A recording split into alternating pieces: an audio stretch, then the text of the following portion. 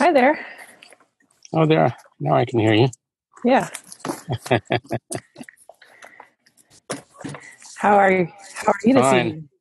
I'm I'm sitting in my car. Oh,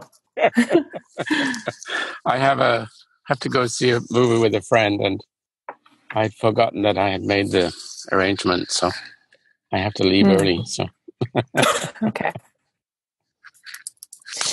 Well, I'm underprepared for tonight's call, so I won't be much. help. I'll just be able to sit here.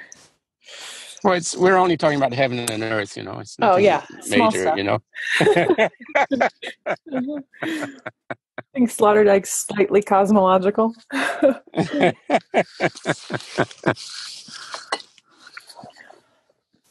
I actually looked at um, Critique of Cynical Reason from him. uh huh. I haven't Recently. read that, so That was his big popular book, I guess, in Germany. yeah, yeah. Interesting stuff. Um, I was really looking for his anti-Hitler argument, which it's got quite a bit of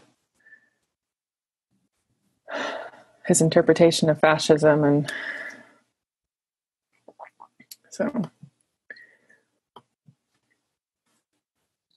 Yeah, that's a a con- controversial issue, right?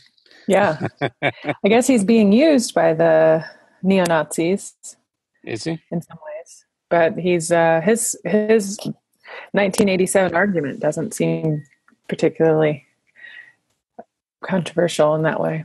Hi. Hi. Hi, Geoffrey. Hi, Johnny.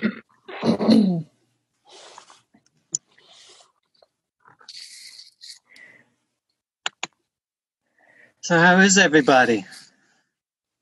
Good. hmm I haven't seen you in a while, Heather. Been, I know. Sorry about that. we missed you.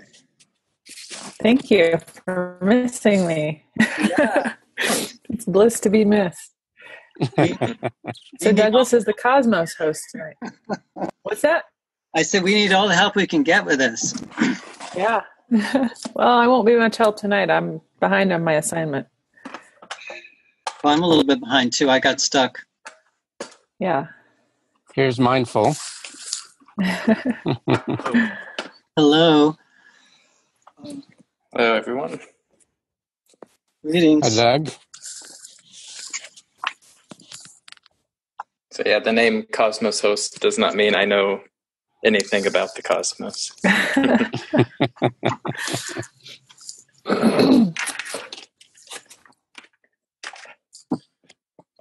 Why do you have that name? That's part of the Infinite Conversations or the co op. Um, I worked with John uh, last week to set up a conversation with Lisa Marowski, if you're familiar with her. But uh, so I've, I'm trying to play the, the Marco to relieve him of some duties. Oh. Except obviously, I don't know how to change my own name back to Duggins or Doug Duff. Oh. I didn't know. Need an infinite augmenter. Plugins. Or I just wanted Cosmos. to. Hi Heather. Glad you glad you could join us tonight. Yeah, thanks. I, I'm a little behind though, so don't expect greatness. I'm curious, are you going to the Terry? I find it to be pretty challenging material actually, or just it not. I don't know if it's challenging, but it does require going a bit slow and kind of chewing o- over it a bit. And I don't feel like I have the space to have patience with Sloterdijk. I, I, f- I find him pretty easy to understand, but I don't have patience for him right now. That's that's understandable. Are you going to the Terry Patten book release, Marco? Well, actually, that's a good question. It relates to our writers group because we were planning to meet that night. okay. the 22nd.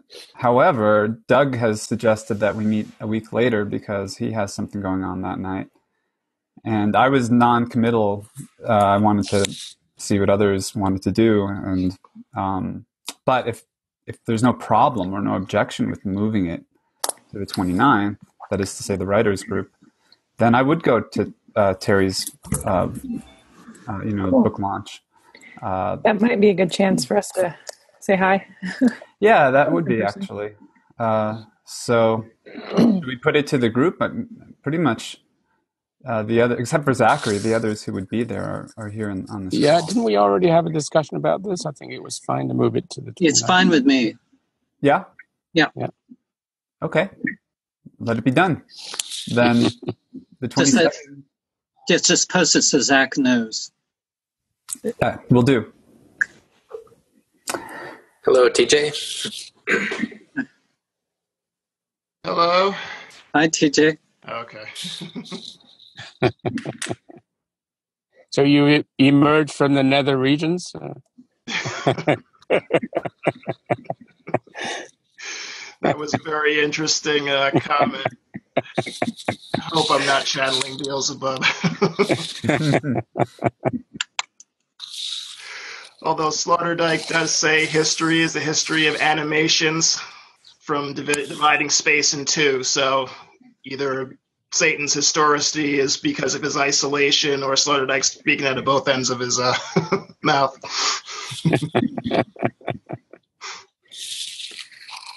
Shall I get started, Marco? I'm uh uh just a bit worried about my time because I'll have to leave uh, Oh, correct. Yeah. Uh, in please. about uh, half an hour. So, um, You know, I actually, before we do, let's just be clear. Uh, you, you're leaving in half an hour. Does anybody else need to leave earlier?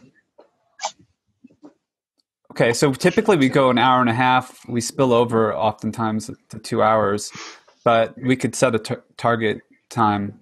Uh, hour and a half, two hours. Maybe we should give an hour to each chapter, but I'll let we'll, we'll see where how it goes. Over to you, uh, Geoffrey. Okay. Okay, it's just um, so I was happy to volunteer. I because I found chapter five such a complex chapter. I took lots of notes because it, it would help me make sense of the chapter as I went. So that was sort of made me in a good position to be able to say something maybe cogent about it. But uh, so I'm just going to work my way through my notes. Um, so it's this idea of so it, it's essentially the ch- chapter on heaven. So chapter six is on hell, and chapter five is on heaven. But it's this idea that heaven isn't a simple thing. So uh, it in Sloterdijk's idea, it's two orbs that overlap in space, but are in some sense incommensurable. Uh, one is he he calls it geocentric, but he actually means anti-geocentric uh, in the sense that it's God is on the outside and hell is on the inside. And then the other one he calls theocentric, which is God on the inside and the nether regions on the outside. So it's these two overlapping um, orbs. Um, the second one, eh, he talked about uh, Plato's sun parable uh, as the origin of idealism, restructures the world into two camps. Um, a camp which is thought. So, I mean, we, we sort of know this about Plato.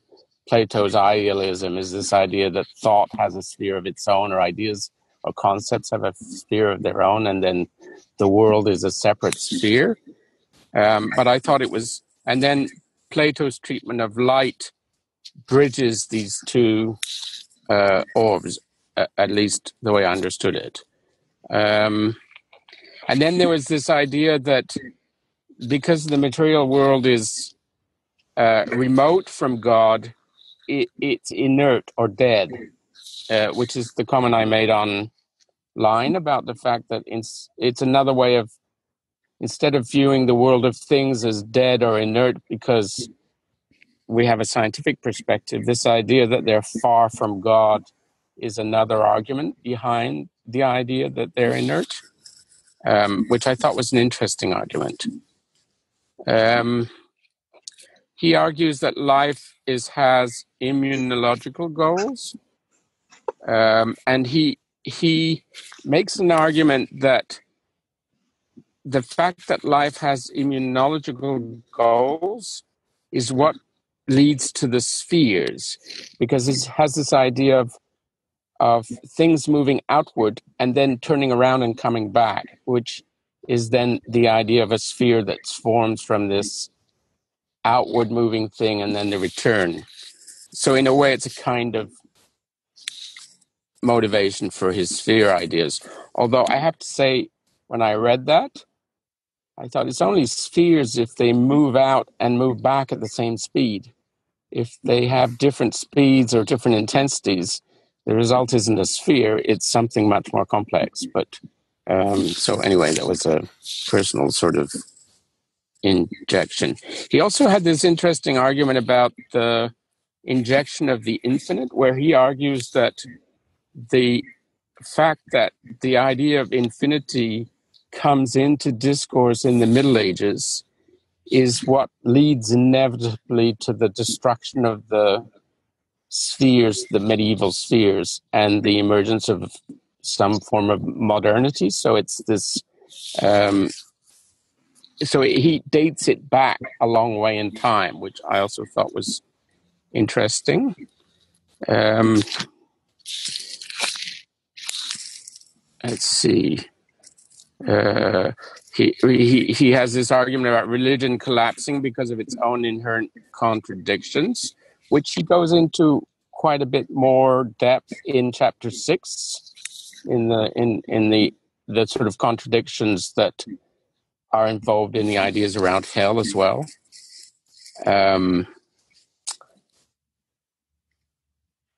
uh, so to believe in God becomes self-defeating in an infinite God, to according him to Sloterdijk, and then he had this idea of the Romantics emerged out of this paradox. The the Romantics tried to find a middle ground between a world that has infinity and a world that has God uh, in a way that reconciles the two. And he sort of says, well, they they did an okay job, but they didn't quite succeed um, which I thought was also an interesting argument. Um, and it gave birth to a renewed immunology out of that. So the sort of coming into the modern era.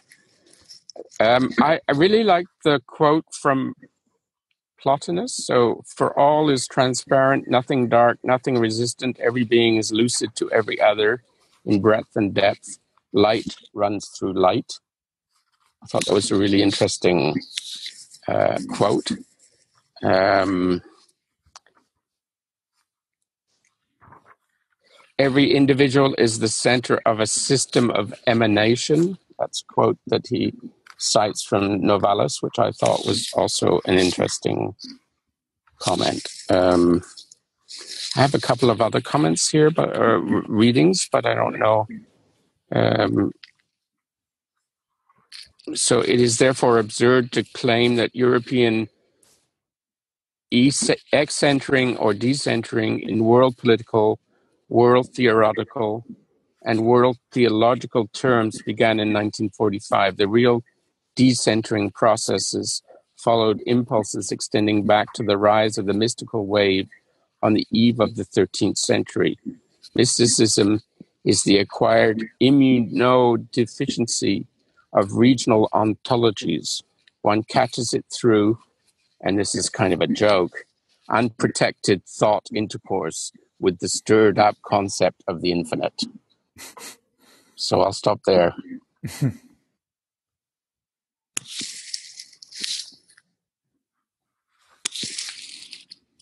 Not sure if that's useful, but it's certainly my readings of the chapter.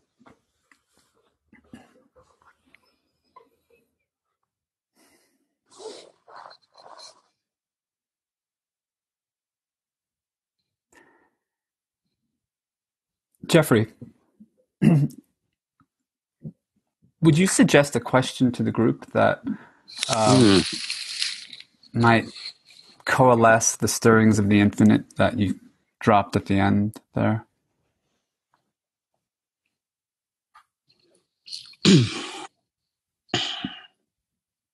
well, it, it's sort of um, this argument that um,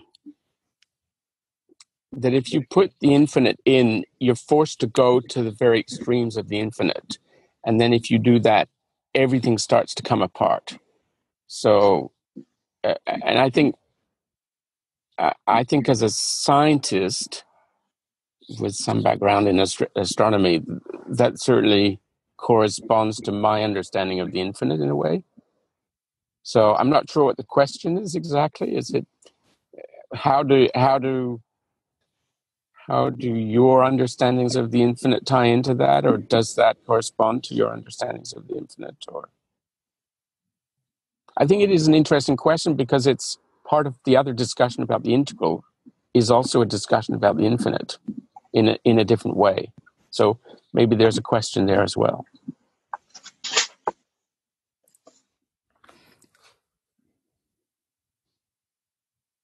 Yeah, I'm wondering what the question is. I'm, uh, you know, I, I, I, tend to lose it through the course of the book. I, I, I, gain, I gain these moments of clarity or insight where I feel like I'm seeing the sort of metamorphological argument that Sloterdijk is making. But then I come to these moments where I'm like, what's the point? and what, you know, of course that that's a could be just an expression of frustration or an expression of exhaustion. you know, there's a lot of words uh, to to to, to digest, to metabolize. Um, but this question of the infinite, I think, is the one that most um, resonates with me uh, because it it really, I think, speaks to the um, you know the place at that edge you know where where a form or there an inside and we're, we're an inside and an outside or you know where you know we don't know what happens next because the the forms, the frameworks, the models, whatever that we have to understand phenomenon, to understand our lives and you know what we're actually doing here, um, are not clear. Uh, so I know that we're on our way to the foam, and this is kind of like the the maximal sort of extension of the finite, you know, before the infinite just, you know, breaks apart any presumption of a totality. So there's no totalities anymore. But that's a kind of to- totality in its own right. Like that's the sort of performative, you know, contradiction of postmodernity that, um, uh, you know, that there's no meta narratives, that itself being a, a kind of meta narrative. So, I mean, I think part of what Sloterdijk is doing here is unfolding a meta narrative, and here we are in the middle of it. Right? The, this, if we take the sort of circular nature of philosophy that he's um, a couple of times mentioned seriously, then we're in the center of the circle of his, of you know, of his of his trilogy. Right? These literally would be the the central chapters in the you know the schema of it. And here we are in, in heaven and hell, but this is going to decompose into foam. And, and, the infinite does that, right? I mean, in a sense, it deconstructs the globes. Yeah. that that's the way I understand it. Is it's it's an argument that takes us. In fact, I think it's in maybe it's in chapter six. There's the first clear mention of the foamology um, so he he's kind of preparing or leading us into something here, right?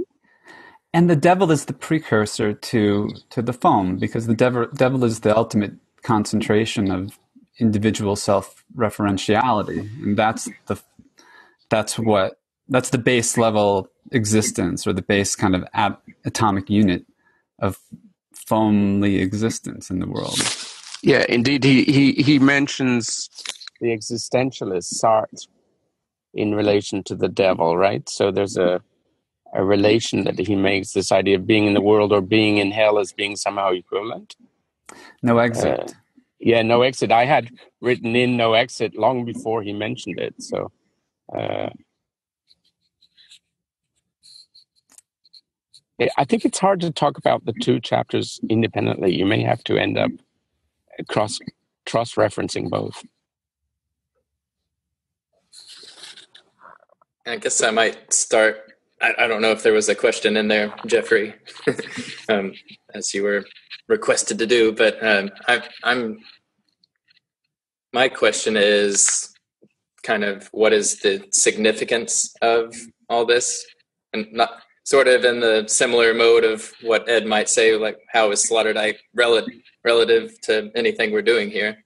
Um, but at this point, in order to stick with the chapter, because um, we we've kind of experienced infinity as the contemporary human being that we are. Um, so to kind of take a step back into the realm that he wants us to reside in for however long and go through 150 pages of determining where where God is or where where our surrounding uh, immunology sphere is. Um, we we've as as those living within um, the postmodern world or our current situation. I think we've we've kind of already gone through both heaven and hell multiple times, and um, so that that's kind of where I'm at. Is I, I didn't get that. I, I mentioned in the forum that I didn't get that emotion. There's no emotional connection to what he's he's not trying to make us say, oh, well, this is the ultimate moment of realization, infinity. Um, I didn't realize it through the reading. I didn't experience it emotionally. Um, so for me, like the significance of it is, like, it, it seems like it should be quite revelatory to realize that all our conceptions of heaven, God, perhaps even hell might might just be um, a story or um, something that's collapsed. So that, yeah, that's that's all I have to say about that. Is what what exactly is the significance um, relative to our reading, without stepping immediately into our postmodern situation. Can I can I respond? Please do. Um,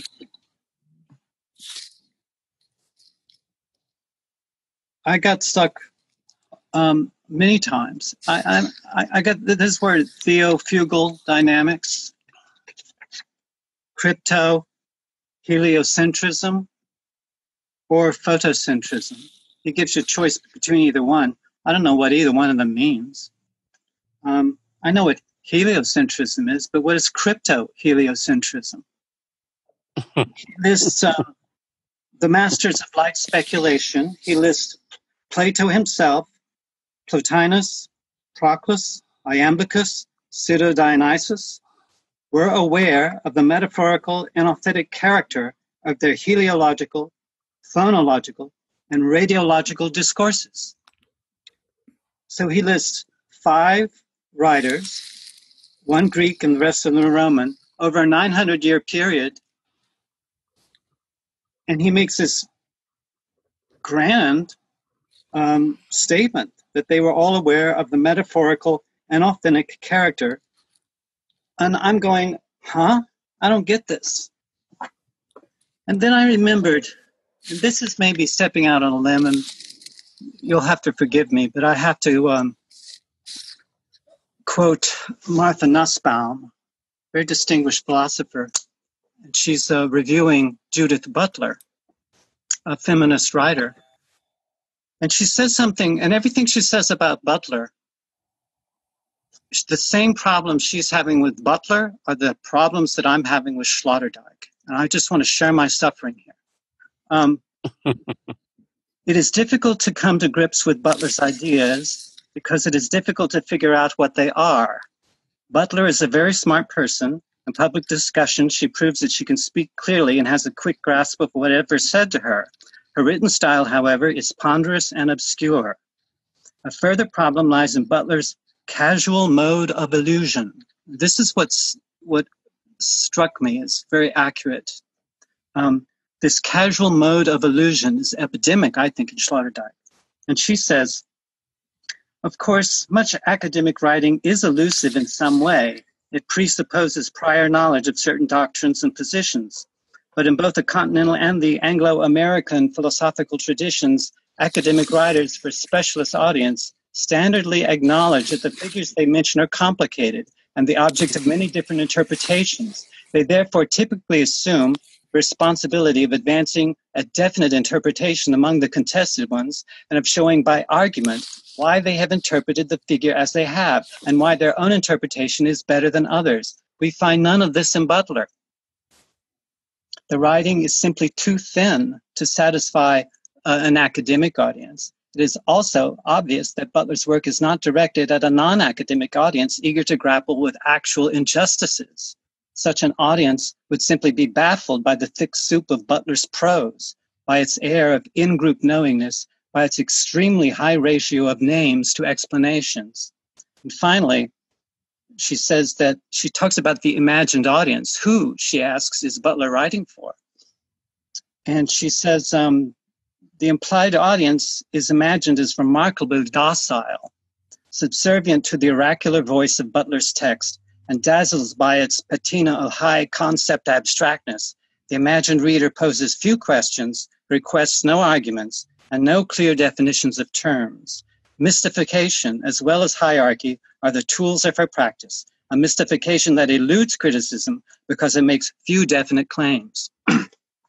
so um, I think Nussbaum really nails it in her criticism of, and she goes on and on, and she takes a paragraph and she, you know, does a really close reading of it, and she just underlines, as I just tried to do, much less expertly as she does, my big question marks. Well, where you know, where's the argument here? What's what's the proof? What's the claim? Where's the definition? Um, and I'm not saying, and also, I, I do want to end on a positive note, okay? Because I believe I, I do want to make a contribution that's uh, that's positive here. Just don't want to come down as a you know a critic without any um, w- without any hope, because I think there is hope for Sloterdijk, but I don't think it's in this in this particular text. I think we have to go to his future, which I did in the world of interior capital. This was written in 2005. The first chapter is called On Grand Narratives, and he talks about globes, the book we're reading. And he says in one paragraph what the book is all about. and I'm not going to. I'm not going to. no spoilers. share that with, because I don't want to just. I don't want to be a spoiler. Um, and another thing, I have another book of his. This was written most recently. You must change your life. And obviously, he did change his in order to write this book because it's so much better written than what, what we've got here. Anyway, so I'm saying there is a future for Sloterdijk. Uh, and I think that um, maybe he found his voice. Um, but I think this this uh, this book so far, this, and I've done the first volume. This is the second volume. There's another volume ahead. I think um, for me, it's thumbs down. I think it really sucks. But I do think he's worth studying because we can learn a lot. I've learned. I've learned about this uh, the cause, cause the casual mode of illusion that Butler criticizes. I mean that um, Nussbaum criticizes Butler for, and that I'm now criticizing Sloterdijk for. Um, I'm going to be very hyper alert to that in the future. Um, and also, you know, I'm also going to be very sensitive to that in my own writing. Should I ever try to do any philosophical writing, I doubt that I will, but at least I'll be more astute when I'm reading other texts like, huh, I think this is a little too casual here. Um, but I think there's also, I'm reading this. This is all about the same stuff. This is about general ecology. It's about environmentalism. It's about globalization, about planetarization. I'm reading this book, Variety of Integral Ecologies, all about planetarize the planetary era. I read both of these books in about three days, and it was a breeze. these are beautiful. These are beautifully written. They are they're all essays. By it's a compilation of many authors, some of whom I'm sure you guys know. But I, you know, these these books to me matter, and I'm putting aside time to study Sloterdijk that I could be spending in other in other places. I think more profitably. So I'm just expressing my my frustration here, and I can't wait till we get to Aurobindo. Oh. All of them, all of them talk about Aurobindo. Only there's mm-hmm. one reference to Sloterdijk, one reference in both of these books on, on e- ecology. So, the, so that's my rant. Never Ed's again. gonna love that. Thank you, guys. like a, you sound like you just came chasing out of hell. Never again. No, I'm going to stick with it. You know, I'm not. I'm not going to. But, but it does feel a bit like Sisyphus, you know, with that. And watching it go down the hill, and what was that all about? It's what you said about boredom, right? Uh, you have to be ready to be bored when you're reading. Well, Yes. we we certainly get Well, when I was that Sloterdijk. when I was reading fast, I wasn't having that many problems. It's when I started to read slow and started to look up words in the dictionary that I came to it came to a halt. Because then I had to realize, you know, there's nothing going on here. He hasn't done anything. He hasn't. Why should I work harder than the author has? You Mm. know, and that's what I found myself doing. I was like working so hard at this, and I realized, but he hasn't done the he hasn't done any work here. He's just mystifying. Blah blah blah. But that doesn't mean you guys can't find something worthwhile. I and, and I, I know there are some wonderfully witty passages in here that I enjoy. But It's interesting what you said about Butler, what you read about Butler, because Butler is probably one of the most cited references in the current literature. It is extremely heavily cited. So And Nus- Nussbaum says that. She says as much. Ma- Martha Nussbaum is a feminist as well. And she has considerable experience. She's worked in well, I, I read Butler, and I must admit it does correspond to. Yeah, she, uh, Butler won the worst sentence award for one year. It was like, uh, and this is one of the sentences she studies. But anyway, I guess it's about style. You know, a lot of it is personality, I suppose. Oh God. But and, and I and I do like Sloterdijk's personality, and she's kind of charming in a way. But I think, um, thank God, what is it? Oscar Wilde said, "Every every whore has a future, and every saint has a past." Oh. So I think he does have a future. I'm looking forward to the other books that I have Well, of his because they seem to be very well written in comparison. I think you just called Peter Sloterdijk a whore.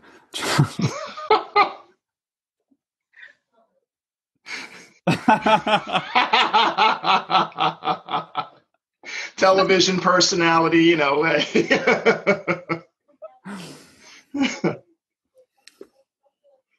Ah, who's next? Uh,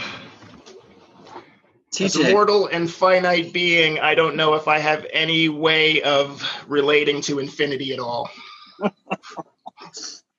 it's it's so truly other if you think about it, and you're not willing to blow your brains out like Cantor. I don't know how he committed suicide, but just dealing with these, uh, putting putting um, trying to deal with infinity in the same we don't even really have language outside of space and time, the finite space time that we that we can put boundaries around to deal with infinity. Um, and actually, I'm gonna I'm gonna lean towards Sloterdijk a little bit Ed's gonna love that speech, John. I think I'm channeling it. too. He's gonna love that one. Um, this is from page 519. If life were merely a sojourn in the external form, in the external from the outset, and did not have to provide any immune services or observe any harboring interests in the small or the large scale, there would not be any need to talk of circles or orbs or hearths or arcs or city walls or anything like that. Life wants to reach out with freedom of movement, yet experience the privilege of being able to reside by virtue of an endogenous boundary. It's like the cosmic scale of things. That, you know, in the cosmic scale of things, nothing we do on this earth matters because there's a scale in which you can't even locate the Virgo supercluster, let alone the Milky Way or the sun or the earth. But that's not where we live, is it? our relationships matter, our decisions matter, the, thing, the consequences of our actions matter. So we don't really live on the cosmic scale. And I think one of the one of the things that Sloterdijk is pointing out is we we can't we can't rely on the old boundaries, but we can't get rid of a sense of inside and outside. It's just how we're wired. So his you know his his his question going back to page 450 his question is a good one is modernity a post metaphysical age or is it just a differently metaphysical age that hasn't figured itself out yet i guess that would be a good tying in that question about the infinite what what are we dealing what are we dealing with or how are we dealing with where we find ourselves I mean, isn't that where he goes with the world interior of capital? I mean, isn't isn't that the what he refers to as the second Catholicity? Uh, you know, from the era of you know the, the grand orbs, you know, which um, die. You mean in this Right. book? Have you read this? I, I haven't, but he's he's he's um uh is alluding to it or alluding to its future, I, I suppose, in in this text in a couple of places. I'll have to find the quote uh, for it, but I mean, essentially, he's saying that where this is going, what this book is about, is a sort of an, um, a diagnosis of the present, and so he's looking at what is he's really what is the totality of now?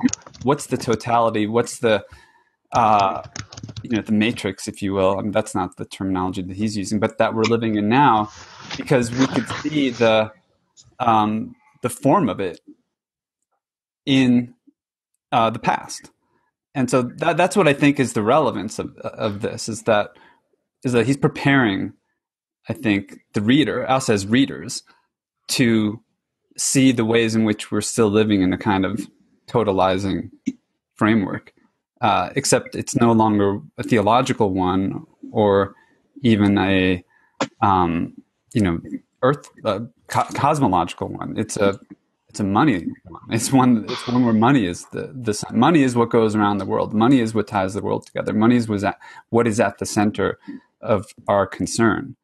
Uh, that's what's occupying the you know that that void uh, in the middle. That it seems that that's where he's going. We haven't gotten there yet. Like in this text, he's alluded to it in a couple of places. John, uh, you know, has uh, he's wrote a whole book, uh, "The World Interior of Capital." Um, so, so, and that's what is like the where that's where the infinite comes back, because we're in this sort of infinite growth system, this like infinite, you know, money system. Uh, it's not infinite money, but it's like the infinite, infinite, infinite, infinitization, you know, uh, of of money, uh, where our gods are, you know, the, who who are transmitted to to us through the media, are these figures of great wealth, of great fame, etc. Um, we haven't Back- gotten rid of the idea of immortality. The gods No. were immortal, and now money's got to be immortal because we have to have that kind of totalizing framework that touches on it. But we really don't understand. You know, we're still dealing with infinity being a totally different thing than the world we have. TJ, what page was that quote on that you read about? Is modernity a post metaphysical age? If that was a quote, 450. Could you quote that again, please? Modernity as post metaphysical? Oh, um, he, he comes after it's on page 450, and he's talking about um, taking apart the Aristotelian Ptolemaic cosmos and also the God orb. And he says that the question also determines the meaning of modernity. Is it a post metaphysical age, as is proclaimed from every corner of academia, or a differently metaphysical one that does not yet fully understand itself? That's the actual I, quote. I, can answer that. This is not a post metaphysical age. oh, I agree. Yeah, I agree with that. You know why? I have Yeah. some. I have some. I have some. The American Paranormal Beliefs in 2005. 55% of the population believes in psychic healing. Telepathy, 31%. Extraterrestrials, 24%. Necromancy, is that rising from the dead? Necromancy has something with. it's 21% of the that American divination. That, the mancy is divination. Oh, divination. So it has to do with something having to do with divination. Oh, okay. But ESP 41%. So, and it, he said that extraterrestrial, among those who believe extraterrestrial, there are more white men who believe in extraterrestrial abductions. And there are more black women who believe in communication with the dead. So, but uh, if you look at all these different kinds of paranormal categories and you add it all up, about 75% of the populations of Europe and North America believe in the paranormal. And that if you if you look at Africa or you look at Asia, I'm sure that that would be much higher. Um, this is from a book by The Myth of Disenchantment by uh, Jason Josephson-Storm. And I think there's a whole lot of people who who are really um, questioning. Um, well, this author is saying modernism is a myth. Postmodernism would be a myth as well. Um, these are just stories, and we're not moving towards a, uh, a mythless future. I, I, think we all know that from our own personal experience that myths are all around us. They're embedded in just about everything we, we do. So I do think it's an academic hangover, you know, from maybe the 90s when there were all those culture wars and postmodernism. But I, I, I think it's, um, you know, I just, I, I feel like it's a bit fabulous, the idea that we're living in a post metaphysical age. But I think Sloterdijk's point, though, or where he's going with this, is that the all the enchantment. I mean, the, there's certainly what you're talking about, like the paranormal stuff and the dreams and what all that's a part of being human. But where we're really enchanted is in our consumer life, in our market selves, in our um, all of the ways that our practices, our social lives, our the whole structure of our of our existences is around uh, the market, right? I mean, it's around the products, the the work that needs to be done, the identities that we're forming in this these kind of globalized globalizing networks, and that that sense of like this thing that's growing like beyond ourselves, which is I think that where that infinite edge really, or where that the edge at which that that we, we come into contact with that infinite. And I would go back to to TJ in question this um, uh, this this notion that the infinite is really other, like is the, completely other. Like is that a holdover itself from these metaphysical views that like radically separate the finite and the infinite? It's possible, but going back to what you had just said about the the systems that we build, the growth systems. Uh, it's kind of is that is that an infinite edge or is that an immunization against that Lacanian real infinite edge? Mm-hmm. Is that a protection from you know losing it because we can always you know we have more stuff or we can surround ourselves with you know with our systems that work. And I mean I don't know the answer to that, but you know that's kind of how I'm. So I really liked I really liked the the scarab um, kind of spiral image that was given. I think that kind of sums up the both of the cosmological, the Platonic and the Aristotelian quite well, and kind of the path that we take, where uh, it's a spiral, which can be kind of the evolutionary aspect of it. Um, that we're going from one point to another, so there's kind of a time factor which he Sloterdijk tends to step away from. But I I see us what TJ what we're kind of getting at with infinity is not necessarily like there's possibly multiple in, infinities maybe. Um, there's there's the the shooting out into the infinite depths, and that's why we have that the second arc that we build around ourselves, or uh, whatever second immunological layer uh, that he talks about, and you can it, within time, I guess, which is where we're jumping into right now within ourselves. Each day, we're going through that process of an infinite infinite decisions from the time we wake up, um, or take, taking in a, a smoothie and bringing that into our body as opposed to all the food that's around us. Um, but the infinite like we're we're constantly looping back to that one point. And then at the same time we're we're saying okay well that was a nice meal that we just ate and we're we're back at our little one point. And then now we're saying how much infinity can we we take in once again? So we we go back on our our journey of the the scarab dance i guess. I don't know. Um,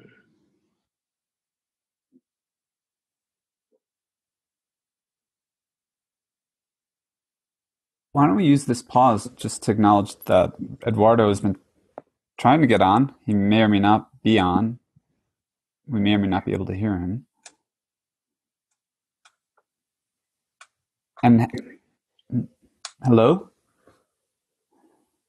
So maybe he's just listening. And uh, Heather, I'm curious what you think of all this. Well, so I mentioned that I was um, impatient with Sloterdijk, and I'm trying to think about why and whether I want to solve the problem or not. I think where Sloterdijk failed me is that he did not build his question compellingly in order to bring me along on the journey of all of this. I feel like this is way too long for what I feel is under the text. So I like to use like a felt sense when I'm reading of what does this hold for me and and that usually my felt sense is what connects me to a book very deeply and i'll feel the exchange between me and the book. Um, so i'm interested i'm curious about sloterdijk but um, he's not gaining traction for me with these long chapters of um, exploration. It's not even it's like um, maybe the, if to use gebser's terminology like mental and the deficient so even with integral consciousness, if we have a post dialectical text here where he's doing kind of a, a poetic wandering in search of these larger themes that then he extrapolates into the elixir. I don't know. Maybe he's doing alchemy on us. I'm not sure, um, or with us. But I feel like um, I wish he could. He could have boiled this down, and because he's performing things, that's what it feels like to me. It feels performative more than um, necessary in order to prove his point. And I was just reading the intro to um, Critique of Cynical Reason, which I posted under the politics thread. If people saw that, no, that's um, one so, of his books I don't have. So I posted the foreword. It's from the 1987 edition, and Andreas Huyssen. I don't know how to say this person's name, or if it's a male or female person. um, goes into the history of his question about cynicism and cynicism, the more historical form that comes from Diogenes. It's a really interesting look at his politics because, and the beginning of his project. So it's really like, why is he doing things the way he's doing? And I think you can find the roots in that uh, foreword. And what I took away from that was the performance, the embodied, um, the Cynic, like Diogenes, was more liberated than the modern cynic, which was more oppressive. So cynicism is oppressive, and Diogenes' way of resisting the political structure was more um, liberated. And he's criti- and Sloterdijk has a major beef with the um, oppressiveness of what is called enlightenment. So he has a major problem with the way that um, he says he kind of has this like paradoxical way of describing enlightenment, which I'm blanking on at the moment, but it's like saying basically like the fake enlightenment.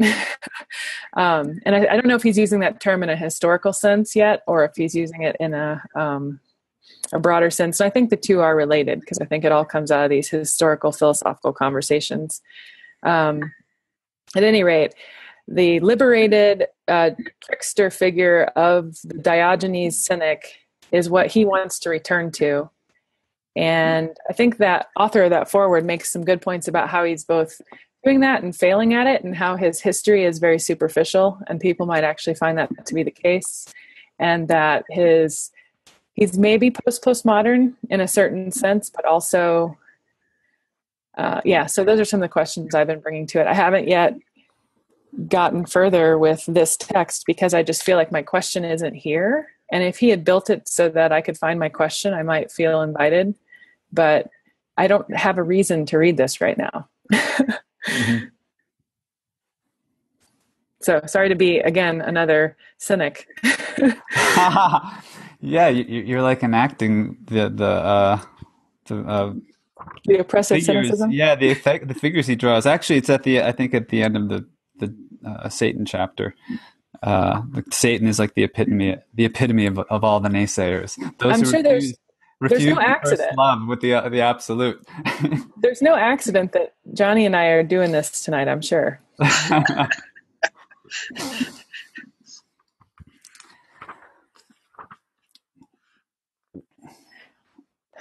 well, well, maybe Eduardo is able to speak with us now. He's popped off and on and off and on. Can we? Can you try speaking, Eduardo? I guess not. Hmm. I want to play maybe not devil. I want to play God, God's advocate. um, all right, here's my here's my theory. It comes at the beginning of chapter five, uh, and ties back in somewhere later. It's all kind of mixed up for me though. But I, I really think that his subject what Sloterdijk is writing about, like what this is about, is the whole, is God. He can only hear us. Okay. And I think that he um, recognizes that the experience of uh, of that ultimate, that best, like which he's not committing to a particular he hasn't committed to as far as i'm aware to a particular formulation of, of what that is. He's reporting he's doing historiography philosophical historiography he calls it this is how we've thought about it to this point in the west and to a certain amount in other cultures. Uh, but I think that he wants that. Exp- he, he wants to, to, to create the spaces for that a space for that experience. Like to think about what is how does that experience happen? What ex- put this again. What space is required presupposed needful for that sort of communion with that sort of ex- relationship that sense of a whole. I'm doing a poor job perhaps of articulating what what you know what he does articulates in many many pages but um so i think though that like the sense that it's a big book and it's sort of voluminous it's it's sort of spacious uh it require it, it really is not enjoyable if you have if you have to do it you know and if it has it's not enjoyable if if you have to like squeeze it into a compressed time frame because that almost like makes it feel like a little hellish you know i I was up at, I got up at one in the morning. Uh, I went to Bender early, relatively early, but I got up at one in the morning to read the Hell chapter. So, like, in the middle of the night, last night, I was following Sloterdijk's account of Dante and Virgil going into the pits of hell, and it was like a reading hell because I was getting more and more constricted in the process of trying to you know come to some relationship with this book that felt which I felt at other times in the reading process. I felt sort of like, wow, this is really I'm getting this grand perspective and I'm I felt I feel like I'm getting some real deep insight and that there's even a sort of playful aspect even though I'm just like a little toddler running around on the soccer field with, you know, the the FIFA players. Um, but I think that something about the way, like, I was thinking this weekend when I was reading chapter five, I wish I don't have to read chapter six before our next call. I wish we could just, you know, stop, have, you know, have, have some leisure time, no pressure, no, no bills to pay, no jobs to finish, no other books to read, nothing else to get back to, and and I really enjoy this actually. I think, and I, and when to the extent that I've had the times that I've had that kind of spaciousness with respect to Sloterdijk and this text, I actually really, I really enjoy it. I deeply enjoy it. But I mean, as we've spoken about in previous calls, there is this sort of aristocratic um, attitude uh, that Sloterdijk kind of just has.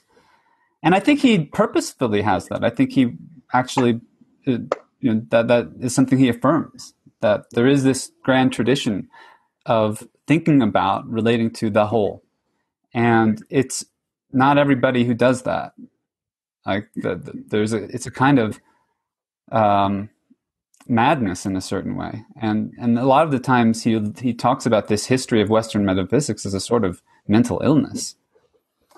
Uh, he he, alludes, he references a book, um, my my mental metaphysics, something like metaphysics as my mental illness or something like that. Um, he actually references Ken Wilber uh, in the footnotes uh, somewhere here. I think it's footnote number forty six, and it was a kind of obscure, weird comment that I didn't quite get, but it had to do with like the Big Bang emanationist sort of presumption that he sees in certain writers like like Wilber, which might have to do with his kind of theory of everything idea. I, I don't know. Maybe we could sort that out, but um, yeah, like the like, do who has time for the whole? Yeah, that that's uh that's I think the paradox that that we're kind of in. Like we we and, and that's sort of the infinitism, that sort of infection of in, infinitism in the modernity is that we don't have time for the whole because we're always, you know, we're, we're trying to to kind of fortify the our our defenses, our spherological defenses uh, through our bank accounts, through our job prospects, through you know every our lives against this this great you know other uh, Doesn't the yeah. whole have to include the enact, enacted portions of our lives, though, where we're paying the bills? And I mean, because it seems like a whole that would be um, beyond that would would be a detached or an aloof whole. I don't know. I think um, something that Nussbaum says um, about um, Butler, I think I could say about Sloterdijk. The real, the real danger, and, and I'm going to replace in the, her sentence Butler with Sloterdijk. Okay, the real danger of Sloterdijk's work is its distance from lived experience.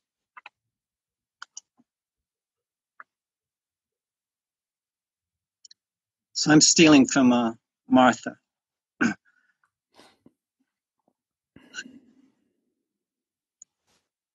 And I think it's uh, if you're an activist as I am, and I want to get a handle of issues because I'm I'm very concerned about global warming and economy and um, the rabbit hole of Trump's presidency and um, you know my own retirement benefits if they're going to happen. You know um, these kinds of uh, pressures that we all feel. This lived experience.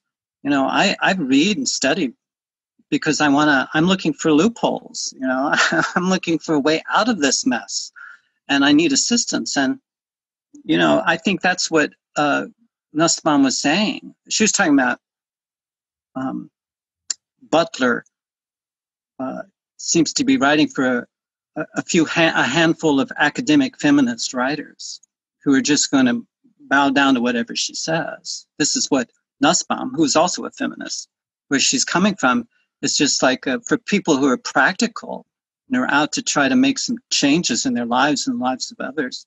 Um, there's nothing in Butler's text um, that would help them. So I think that maybe after this book, which she wrote in 1999 before 9 11, I think the last volume was written in 2004. Um, you Must Change Your Life is most recent. The other book was I think written in 2005. But I find that uh, the the prose is so much different. It's so clear. It's so much clearer. And I think it's because he started to get more serious. Maybe he felt uh, these other books he had the leisure to explore. I think it, I think it was uh, someone on this call talked about the um, you know the, all those big surpluses in the 90s. There was so much money they didn't know what to do with it all. but that's not the problem I think um, that we're dealing with. Um, or that I think maybe Sloterdijk or Europe is dealing with right now. So I think he's gotten a lot.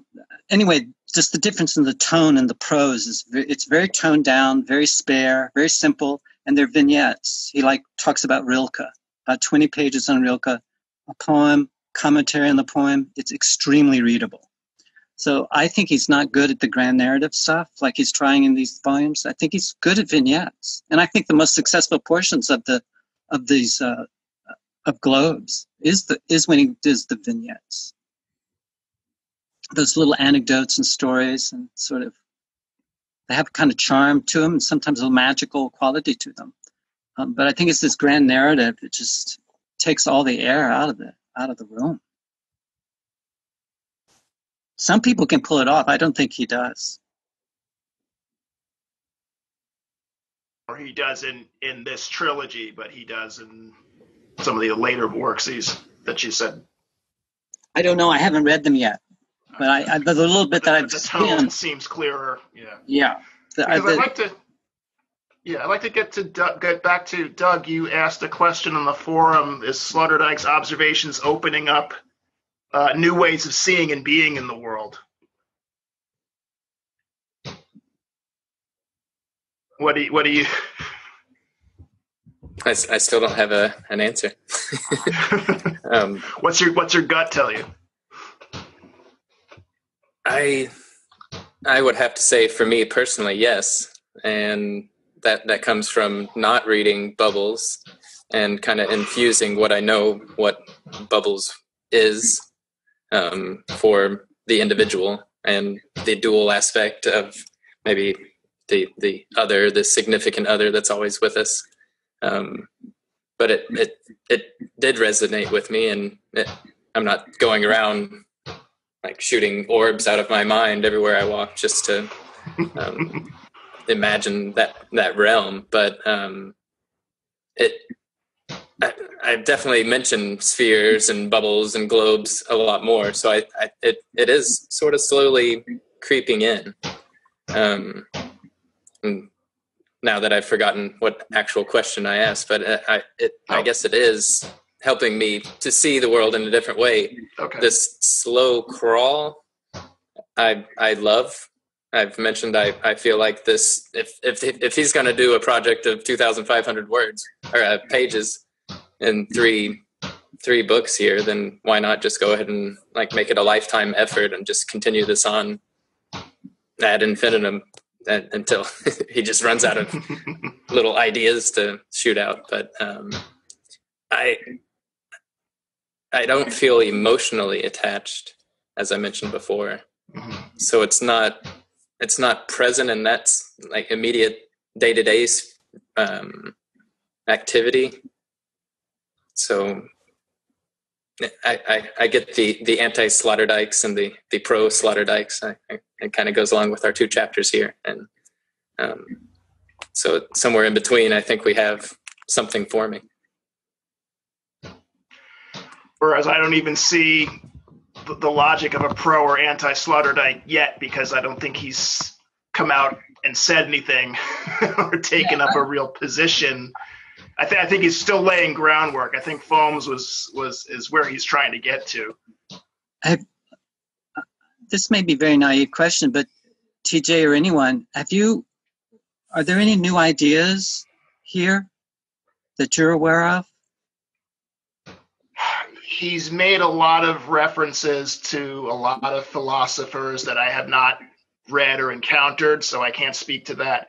Um, I'm not having much of a problem with his overview of history because it's not really contradicting anything you know that's out there in social theory or globalization yet we'll you know we'll see what the what the next couple of chapters are um it's not really for me new ways of seeing the world, but maybe just like uh, let's make sure we remember where we've been in these cosmological or theocentric or geocentric orbs and circles first, and then you know. See, but I, I'm waiting, like like everybody has said, I'm kind of waiting for what is the point of your exploration here. You know, like Heather, it's it's kind of it's kind of frustrating to be like, well, where's my question? That's a that's a good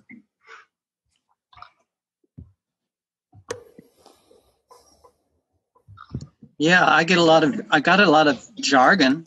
Some of it's interesting. A lot of new words. yeah, theo, theofugal dynamics. I can't wait for the next cocktail party. I'll drop that one. yeah, no, oh he's very playful with his vocabulary. Um, but I think in my search for what the hell does that word mean, and I keep on reading, mm-hmm. I don't there it's sort of um, someone I, I read somewhere that if you if you come across a word that you don't know and you keep on reading your brain will be processing a search for that word you don't know. So you might as well just stop what you're reading and go to the dictionary. That's what my teachers used to say. If, I, if I stopped reading this for every word i didn't get i would never get past a paragraph you know because he uses words in very idiosyncratic ways. And he also uses a lot of, I think, um, technical jargon that only a few specialists are probably going to get. So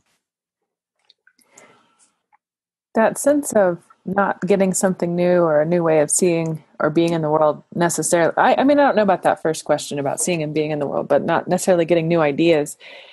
I don't think that contradicts maybe if if he's trying to do something performative. Um, like I was just reading Bruno Latour's comment on the back of my copy, and he says Sloterdijk's infectious concept. It's almost like the idea he works so much with viruses, right, and immunology. It's almost like he's trying to. I almost feel like he's just trying to create a shift, almost like a in a priesting sense, create a shift to where we see the water we're swimming in and that we see the way that orbs and spheres function and appreciate that and take that out into um, like that might be the whole point at least of this this book. I'm not sure. Um, but to see it at work and see it in many ways and see it deeply and re-see everything we've already seen and that's a performative goal not an informative goal. Mm-hmm.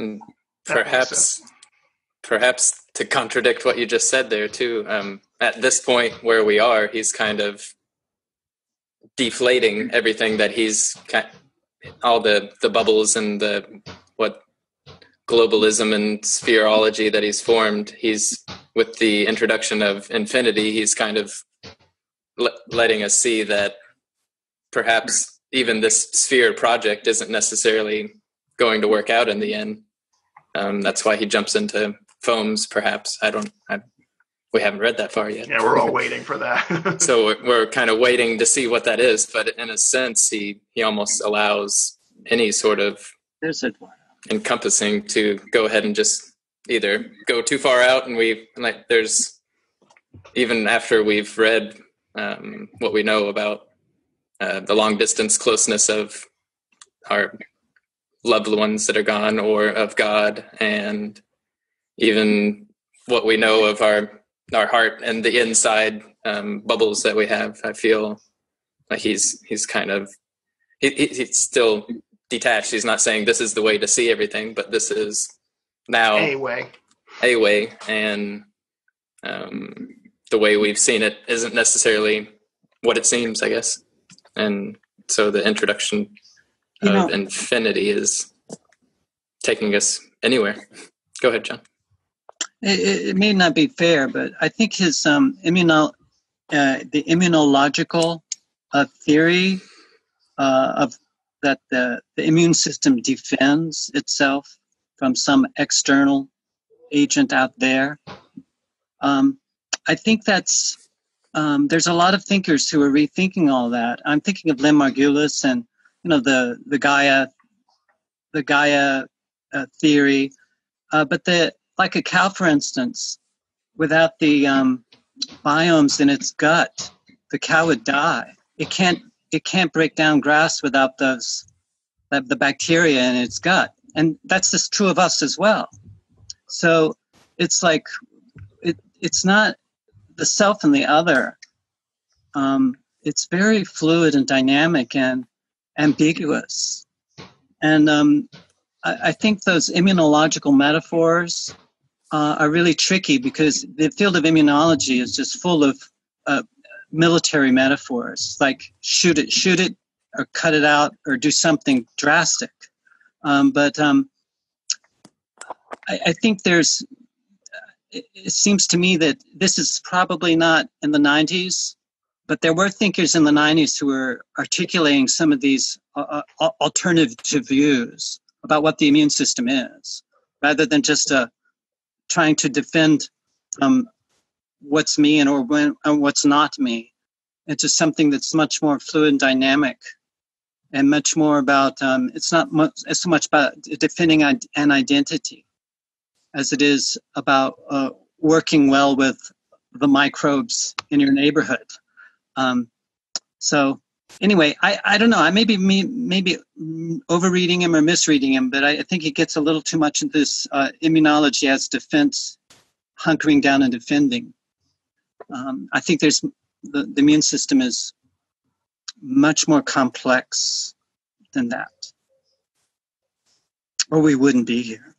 um, yeah, I agree with that, but I think on with that in hand, on the other side, he's talking about, at least in Globes, he's talking about history where hunkering down and defending wow. is kind of what all these cultures and societies have just kind of trained themselves to do over, over time. So, I mean, in, in a way, so maybe Foams is kind of getting into the breaking down of that that kind of definition of totality. But, you know, we'll see where he goes with it.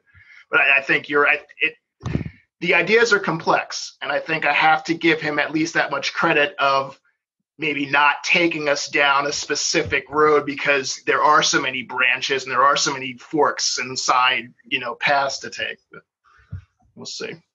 I'm well, still on the fence. Heather's point about it potentially being performative, I think, is um, uh, suggestive. You know, like the the the, the fact that th- there isn't a well packaged idea that you could kind of clearly identify and put to use uh, could be uh, a deliberate or at some level a, de- a deliberate intention uh, on his part. He may not want to play that kind of language game. Uh, he he may really not. He may want readers who, not that they have leisure to to to you know to sit around and read 2,500 pages of non-relevant, you know, to their lives philosophy, but um, and yet here we are. yeah, right. But but uh, th- I think there is a critique here. You know, I, I think that that not only is there there's an affirmation of a certain like sense of style, a certain sense of form, like the, the idea of space, giving oneself space, creating space for thought is uh, at the central, I would say, to, to this project. Uh, and the relation between space and time is, you know, that's really interesting. That, that that's he hasn't ta- hasn't talked a lot about time, just in the same way that, you know, that in Gebser you get this sort of despatializing of this attempt to uh, get out of the mental spatialization project. Like, get, Sloterdijk is picking that up and sort of, I think, at a different octave. Uh, I'm not. I don't think it's integral necessarily because it really doesn't, so far, lead to a greater form. Like foam is not really a great, better form as far as I can tell. Foam is just chaos. It's just a sort of you know extension of uh, uh, um, I'm losing my my my my my, my sense of words here, but that that that idea of the multiplicities of self-centered individualities who kind of coalesce into these power centers, like, and that's the real I mean, that's the real world. But the integral move, I would think, would be to project better forms that are able to work with existing reality and you know, suggest a suggest a better whole in some sense. Like I think that that would be what I'm not getting in Sloterdijk, but part of I think the process of getting there may, at least for me, at this you know phase in whatever I'm reading, because I'm committed to this. Uh, you know, I have to finish it. Like I can't just drop it now. It would be so shameful or something. Um, uh, is like, can you? How much can you like oppose that like totalizing influence of the pace, the speed, like the um, obligations of life? Because you know, in, in in this sort of globalized, infinitized world. I know I'm kind of slipping into jargon a little bit, but there, there's something just I think important about the ability even to do what we're doing, like to like if we lose that as a culture, if we lose the ability to to read a long book and have a meaningful discussion about it, then what does it matter our technology? What does it matter how much wealth we build? What does it matter uh, how connected we are? You know, if we can't go to the depth dimension and sort of have that strong connection in the depth dimension, and I don't just mean like in this little group here, but I mean like as a cultural ability. Like that is an ability that I think as a meta, a, as a metaphysician, as, a, as somebody making a diagnosis about the present, I think he's pointing to this deficiency in our just way of being you know that doesn't even let us take the time uh, to have the space to to think. Uh, and what would we think about if we had the time and space to think about? I think that Sloterdijk is suggesting that you know some people wouldn't take, take the time to think at all. They would go for a walk or they'd play video games or something else. But some people would would wonder about the whole or would be shocked by the fact that they are outside they're in the world you know? This this so this this thought of the outside and this thought of the totality and where the outside opens to like being in the world that's where i feel he's kind of you know we're part of our the reason why we're so frenetic is we're trying to protect ourselves against the fact that we're in the world in the outside and we don't actually have protection there is not actually the you know the, the citadel of of the of the divine protecting us as individual beings. So well, that's scary. Well, what what would happen, Marco? You were at the for Lisa's presentation. Um, he's into the orb, and Lisa did a presentation on another topological figure, the the not the uh, the Klein bottle. And there's also the Mobius strip, that's probably a little more popular, and even our own lemniscate, in infinite conversations.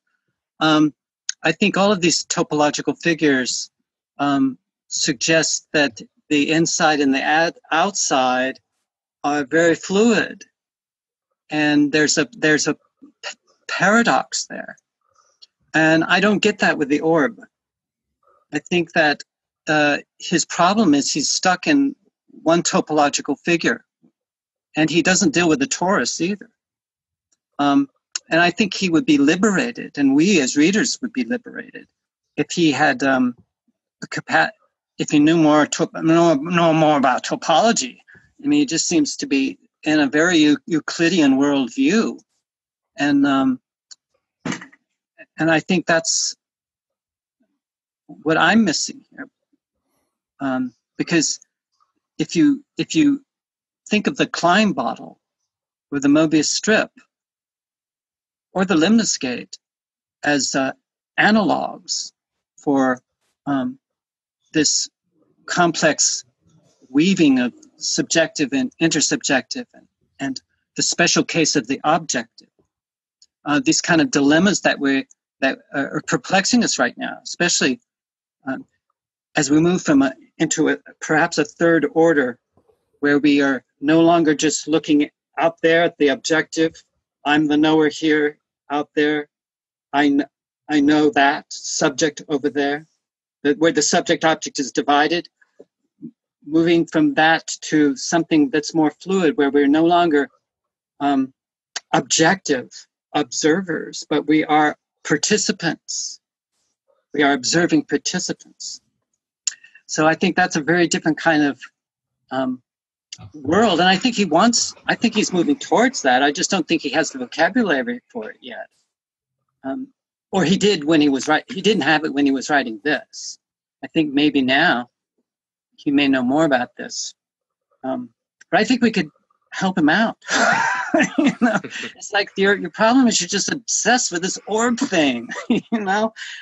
Well, but I mean, the West was obsessed with the orb. I think was his, was his point and his historical point. And it's kind of like the um, the article I shared way back about the three negations.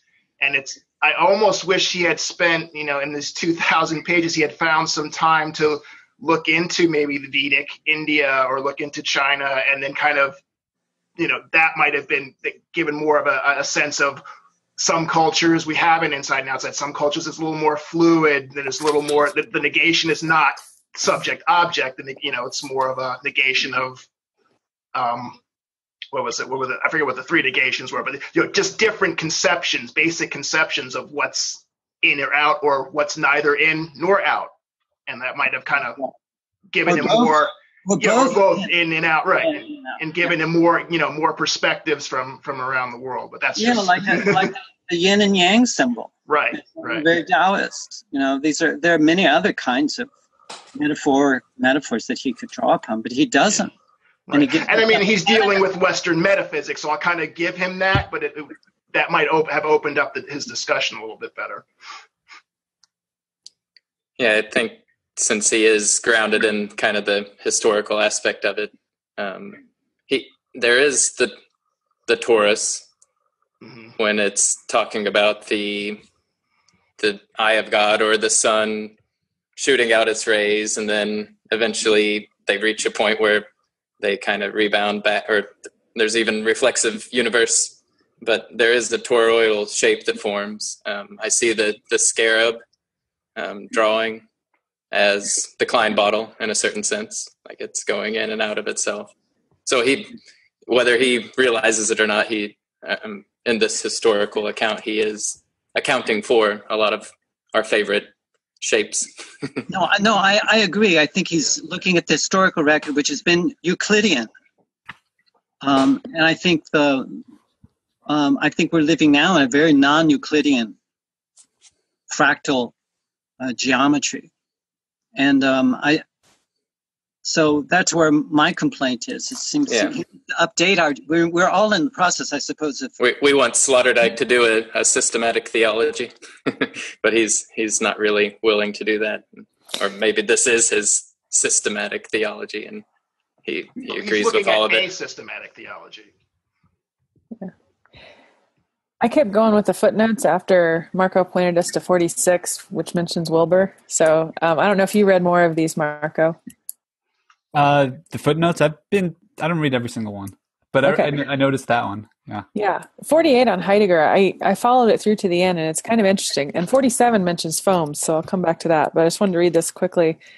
Because Heidegger does not realize this, I mean, there's some interesting hubris going on here. I have to go back and see what this refers to.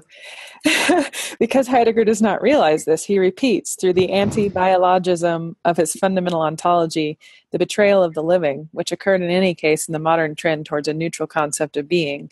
In his late work, he attempts to compensate for this betrayal through an ontologization of the redemptive place and the word that is necessary for being. Conversely, Deleuze, now this is a um, part of his other work too, is to he's not in favor of Deleuze's madness that's just totally schizophrenic. Um, he's looking for something else anyway. Conversely, Deleuze, following Fichte and Nietzsche, clings to the absolutism of the living. It serves modernity through an illusory praise of boundless becoming and floating mobility.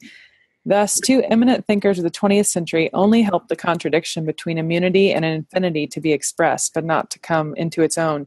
So I almost feel like in that last line, his observation of criticism of Heidegger and Deleuze is maybe actually where he feels his invitation to help the contradiction between immunity and infinity to come into its own, to realize it, to enact it. Um, don't know, just a thought. The one before that mentions a line of about foams from Hegel. I actually think that that's I mean, it's it's good that you brought that back because that ties to TJ's point from earlier about I think the rel- the relevance of okay, what what might be a novel philosophical contribution here is that sense that you ha- the that form spheres boundaries are necessary. Uh, and even if you can't have a total absolute sphere that perfectly represents or encapsulates the divine you have to have spheres at all different levels or fa- uh, levels of life uh, from the intimate local domestic to the you know regional and even to the global.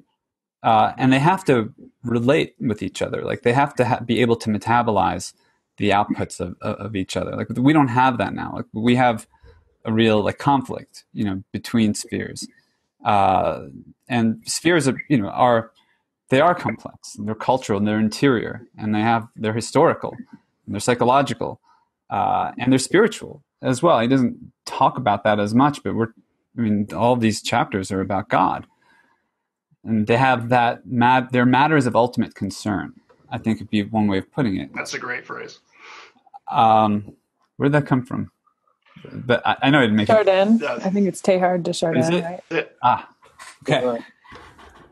Um, so we have competing matters of ultimate concern, and we have to get to some point where there's common, there's sort of a, a common level of concern on the planetary sphere level, and then at the relative levels, there are ways of you know managing the or adjudicating or this is what we have to do, I think, as human beings, right? Or whatever beings we might become. Like that, this, this, uh, I mean, part of what he's saying is the contradiction of these forms, right? The, the idea that there could be an absolute that's completely separate from the manifest or the earthly, uh, obviously doesn't work. Uh, it, it's, it's unsustainable. So I think part of what he's saying is that th- these forms that we're that we're that I'm describing through all these pages don't work, and there's some sense of balance perhaps between you know the transference energy, like the er- erotic uh, um, exuberance that that he talks about, that spirit, that breath, that the balance between that, the way that that wants to move into greater and greater forms, and then the harboring um, requirement of just of living sentient beings that need to have non-infinite uh, containers, you know, for their livelihood. Like being outside is we is actually terrible. Like if, if things were not just right, temperature, um atmos- atmospheric composition, all number of conditions, like we'd be toast. You know, we we would die immediately. Like it's this very thin sliver of conditions that let us live as human biological beings. But then I think part of what Sloterdijk is saying is that there are certain psychological and spirit, spiritual conditions that we require in order not to be crazy. Because like being awake, alive is, uh, you know, is to be exposed to the infinite and it's to be potentially insane. Um, so I was just going to throw a quick aside in there. Um, that's a that's a great that's a great series of videos. I think Neil deGrasse Tyson. How long would you live on each planet in our solar system without a spacesuit? And the, you know the average is a second, Right. you know everywhere else but Earth. so metaphysics is like a spiritual spacesuit, you know, for Right, right. for you know human human beings becoming aware of of the cosmos. Uh, and you know these old suits are in, inadequate. They tried to put everybody in the same suit. Uh, they tried to put you know some people way up with all the privileges, other people you know without them. And I mean, he constantly goes back to saying that the error of these Catholic Catholic, and I don't mean Catholic in the necessarily the sense of the religion, but yes, in that sense, but also in the sense of totalizing. Universal. The error is that it always leaves something out. That enclosed form is necessary, but if It can't all- be infinite. That's if right. it's a form, it can't be infinite if it's a form. If it's any kind of form. Hey, speaking of the infinite, uh, Eduardo is here. We can see him. Can Eduardo speak? Hi. Hi. Hey. Finally. Greetings, Eduardo. Help us out. Yes, I lost 20 minutes from your speech. I can only hear but not see nothing. Oh, you can't see us. No, now now I can. Yeah. Oh, okay, great. Do, do you have anything you want to share? Yes. Um, I think this chapter is not necessarily bad, but it's very difficult for me because I read in Spanish, Uh-huh. And I feel like um, it's almost like the second book is first than the first book. For me, you know, I give this. I am with the sensation. For me, it's a lot easier to read the second book than go to the first. I think I'm gonna comprehend more. But uh, talking more about this chapter, um, okay, I think he began to talk uh, that the notion of globe, the notion of bubble was substituted by globe. It's some kind of uh, immun- immunological system based on theology or geocentrism.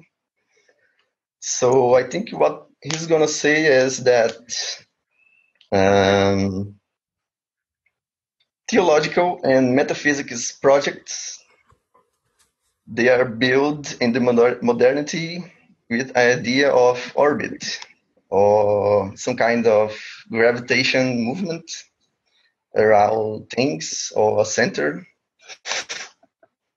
and in this is idea of the empire no? you know if you see like in the past a lot of big civilizations they build themselves from a center you know it can be a political center philosophical cultural or juridic center. And all the things to come they almost like they spin around the center you know some kind the earth and the moon some kind of gravitation movement around the center. And we can think we can think things like houses avenues walls or i don't know some kind of conquering the space between orbits you know. And the name of the chapter no he talk that god is some kind of sphere because the sphere have um, two very interesting characteristics. One is you cannot say precisely where the ending and the beginning of the sphere he starts you know? So this gives us an idea of some kind of infinite looping or some kind of ending and beginning. They start from the same point so this creates some kind of analogy of god no omnipresence omnipotence and omniscience and the other advantage to the spherical form is uh, the geometry is perfect to put things inside them. You know, people, gods. Uh, I think in the end of the chapter, he talk about the uh, Lucifer too. He's all like his own world, separate, or something like that. And I think a lot of his his talking have some connections with modernity, you know, with the Illuminists, but not necessarily. This thing begins with Illuminists. He mentioned a lot uh, Copernicus with this idea of heliocentrism. There is no like fixed point or the Earth is not the center of the universe, nothing like that. And he also mentioned the Divine Comedy, I think, or Dante Inferno. I don't know if I catch all these things he's saying. For me, he's very descriptional, no, this this chapter. But uh, talking about more of this cosmic theology, he's talking about the Dante's Inferno he mentioned that the globe has a big center. And this center is God, with some bright and very lights. And all those lights, they create some kind of uh, animated expansion, expansive animation, you know. some kind of nuclear nuclear explosion of God for all the sides. And he talked that those globes have various several points. He called the concentric spheres. That are, uh, these concentric spheres they have points that are closer and distant from the center.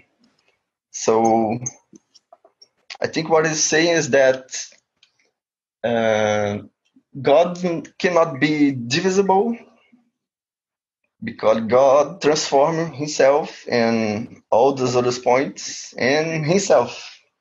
So everything is God in the globe. And he say that those points create some kind of radius, some kind of it's almost like the, the light is called golden, you know, to the center. So they create some kind of radius, get some kind of path, you know, to the center. And those distant points, they are some kind of periphery, like places distant from the center. And that is other advantage to the geometry of the globe or sphere. Because if you have a center in the sphere, the distance between the center to circumference, that is we call radius, is all the same, you know. So this gives some kind of unity or some kind of totality idea of God. He is in everywhere. There is no dark points in God, you know. And he mentioned also that deny this shape or deny this fear is some kind of uh, assume some kind of heretic position or almost like some demon forces is around you something like that. And he ended the chapter talking that lucifer has his own empire i think but his empire is not like the empire of God because the empire of God have centripetal forces. So all things around these concentric spheres call those points, you know. In this vision of Lucifer, he say that Lucifer is some kind of egoist person or self-reference auto reference, some kind of individualism, you know, because uh, Lucifer don't want uh, to share nothing.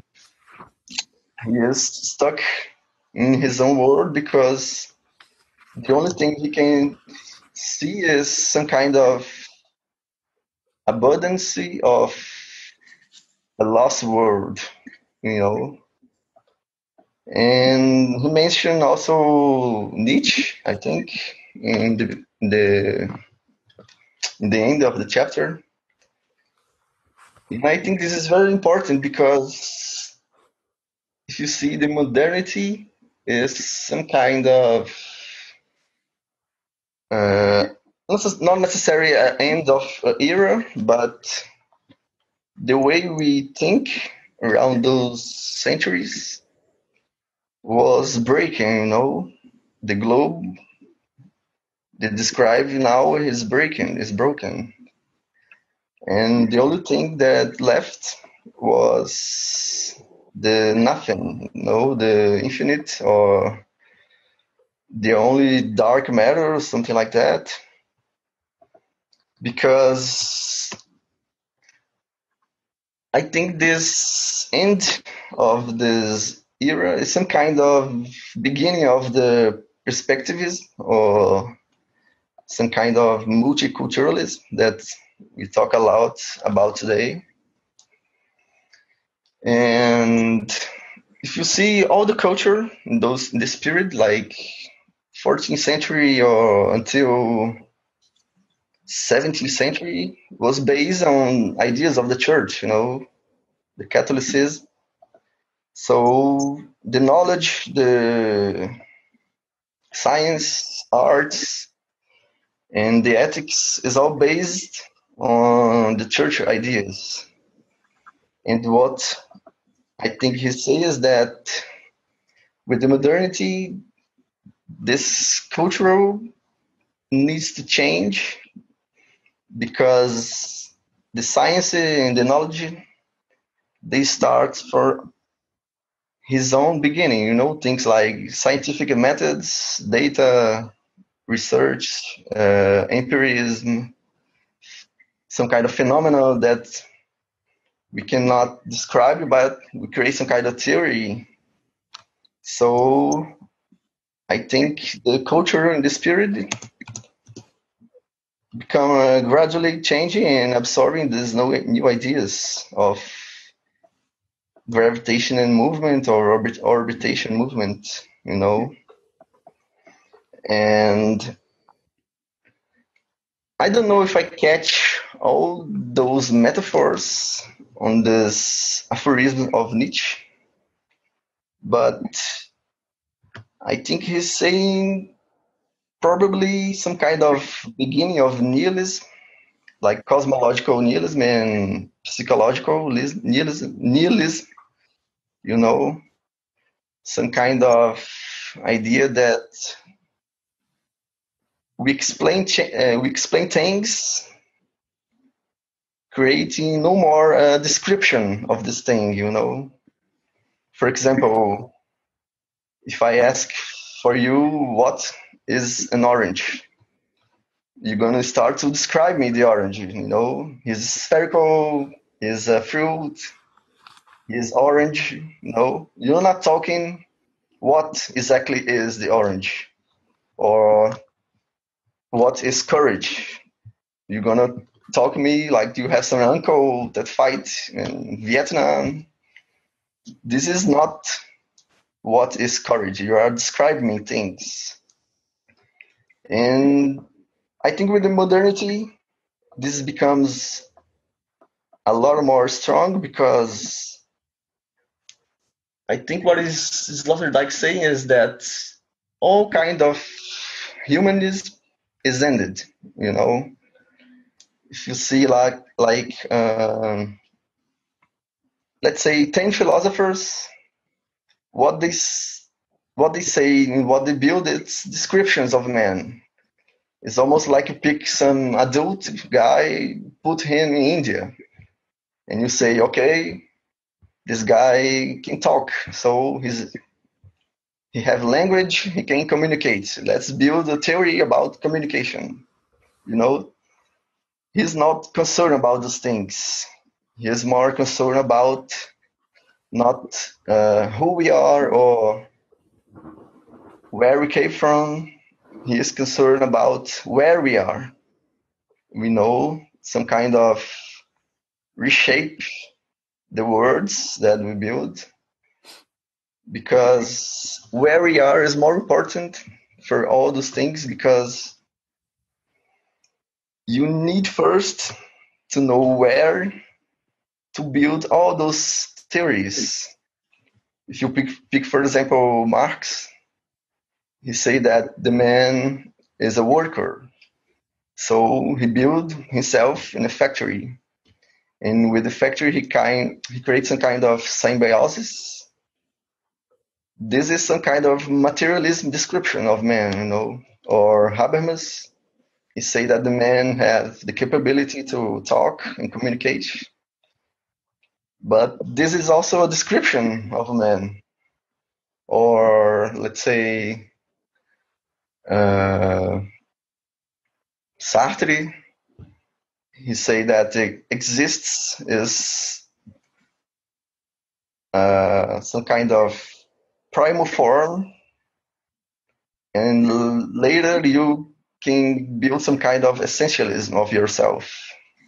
So he is putting a description of a man on the existence. And like to resume all those things, I think that is Sloterdijk is building some kind of I think he's not believing things like human nature, but no. I think for him, all those things they are completely artificial. You know, some kind. We are using right now some kind of uh, artificial intelligence to build, not necessarily build, but design the man right now. And I think this is very important because the beginning of all this, this discussion of the second book is the first book. You know, the answer to the question where we are when we are in the world is we are in spheres, in bubbles or globes. And we create some kind of immunological system, but not necessarily a cage or like a room without a door. You know, you need you need to create some kind of communication systems uh, self-production or self-improvement systems like exercises, like uh, mental exercises, like technology. All those things for me function like uh, some kind of, I think it's quote, quote, global quote that we are putting around ourselves. And that's it for me. For all things that I read yet, for me, there is no things like animality or natural man anymore.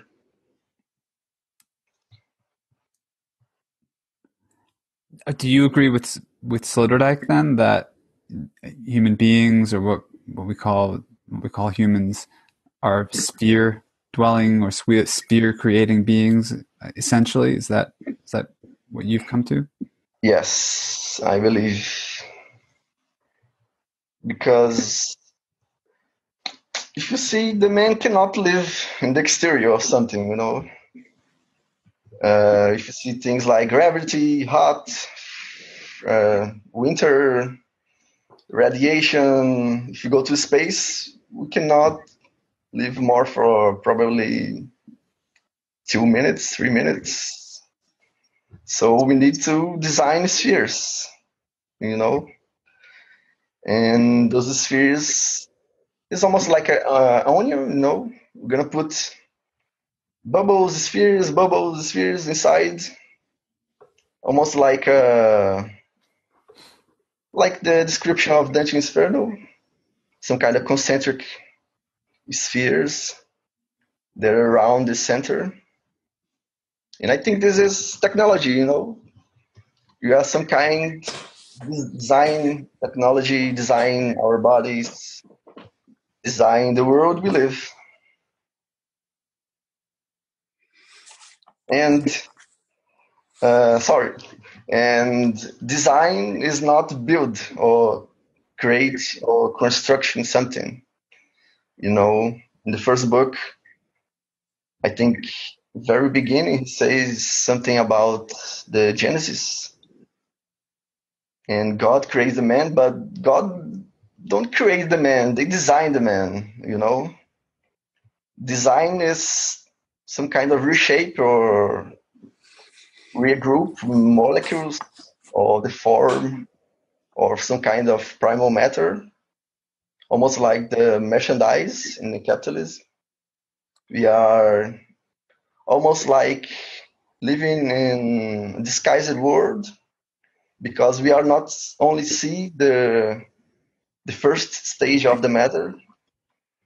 So he says that God creates some kind of some kind of doll that he called man with uh, argent no sorry uh,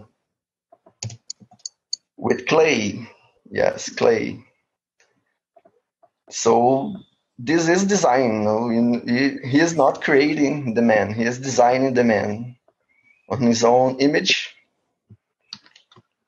And he gives animation to this man like the bubble. He put his mouth on the nose of this doll and he blow some kind of spirit and now man we gain movement you know some kind of with the modernity we see a lot of these things like with machines with trains uh, ships. They all move because they burn something you know like oil or vapor. This is some kind of design and some kind of gives spirit to machines too. Yeah i'm i'm kind of wondering which I don't want to take away from the momentum of your talking, but how how does our metaphor of saying with technology we're we're creating as if God we're we're are the machines and AI is is a, a tap into the the God realm, but how does this tie into what Sloterdijk is saying in these two chapters here, where kind of the orb is dead, God is dead? So are we just little devils trying to what what exactly are we creating? And um, that that just seems to be like we're we're tied into the the money sphere or the story of money. And then now we're kind of tapping into the technological realm in general. We we see that as oh that's the the sphere that we we should grapple onto. And we see ourselves as gods kind of creating through yeah, this yeah. technology. And yeah. So ex- how exactly would this tie into what we read here?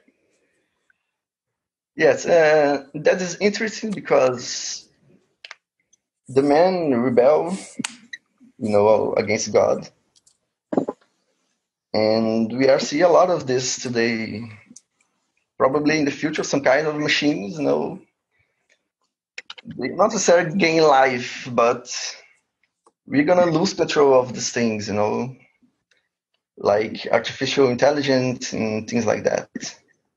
But I think talking more about this specific specific chapter, uh, I think this is of like saying that we are like an uh, open field. You know, there is no more left and right or there's north and south you know, this idea of globe suffer like a broken or become broke. And now we are in the middle of the nothing right now. I think what is saying in Nietzsche too. I think he's gonna confirm this because I think it was in the, in the aphorism he mentioned like a crazy man. And this crazy man is looking for God with a flashlight during the day.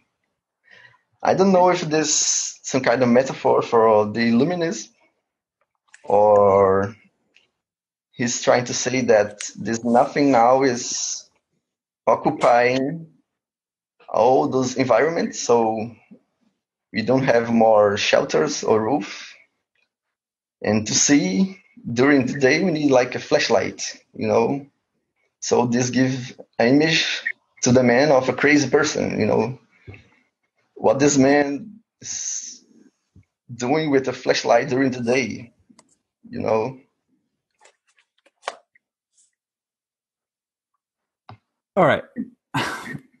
Sorry, go ahead, Heather. Uh, I was just gonna say one thing, but I don't want to interrupt the flow if there's flow here. I was just uh, some of what you were saying, Eduardo, reminded me of a little of Kabbalist creation story. Uh, you started off talking about you know, uh, clay vessels and light, and I got you know a sense of the breaking of the vessels that can't hold the light, and that made me think about a connection. There were these points that are part of the radius, and um, it also resonates with certain Western traditions. And I'm thinking about what TJ said about there can't be uh, it can't be infinite if it has some kind of form.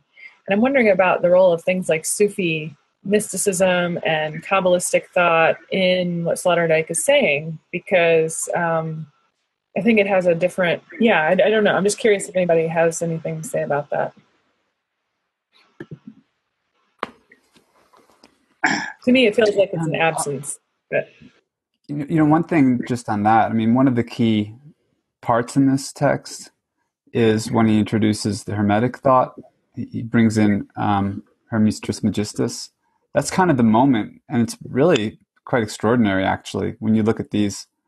Uh, I'd like, I'd love to just look it up really quickly to to um, speak to your question, Heather.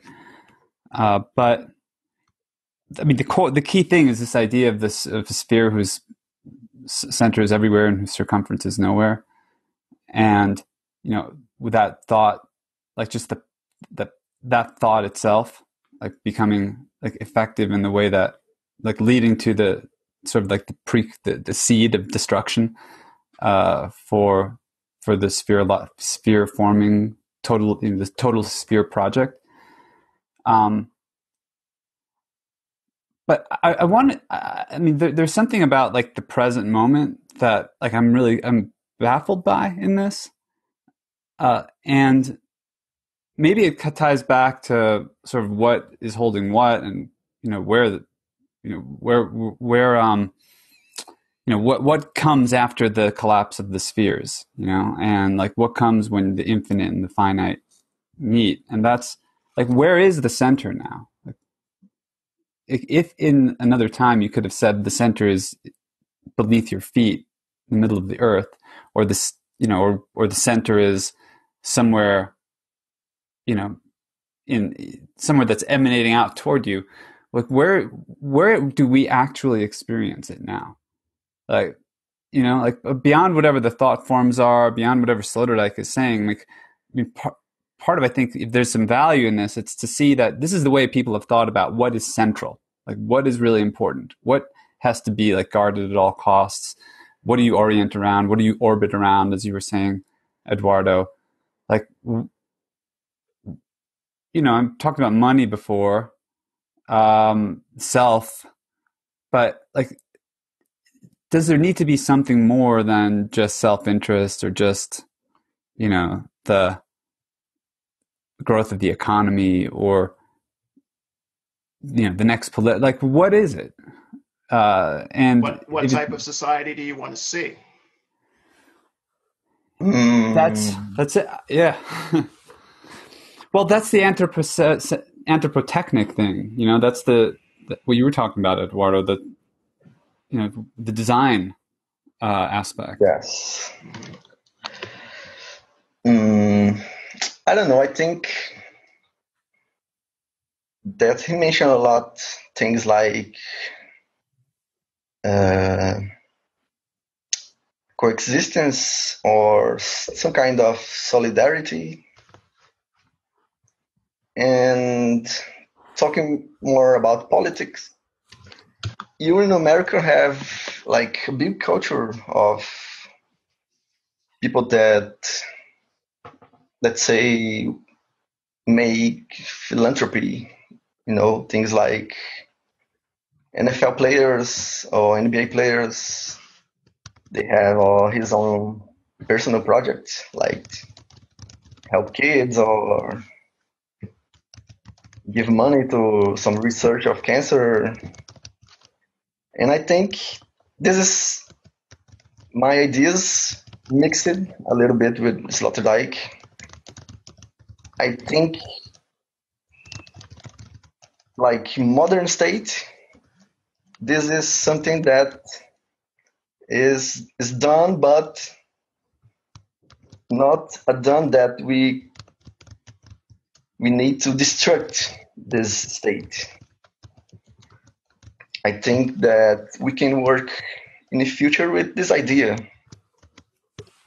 like uh, a mix of Christianism and what is what Sloterdijk is saying right now, like big bubbles or big spheres coexisting.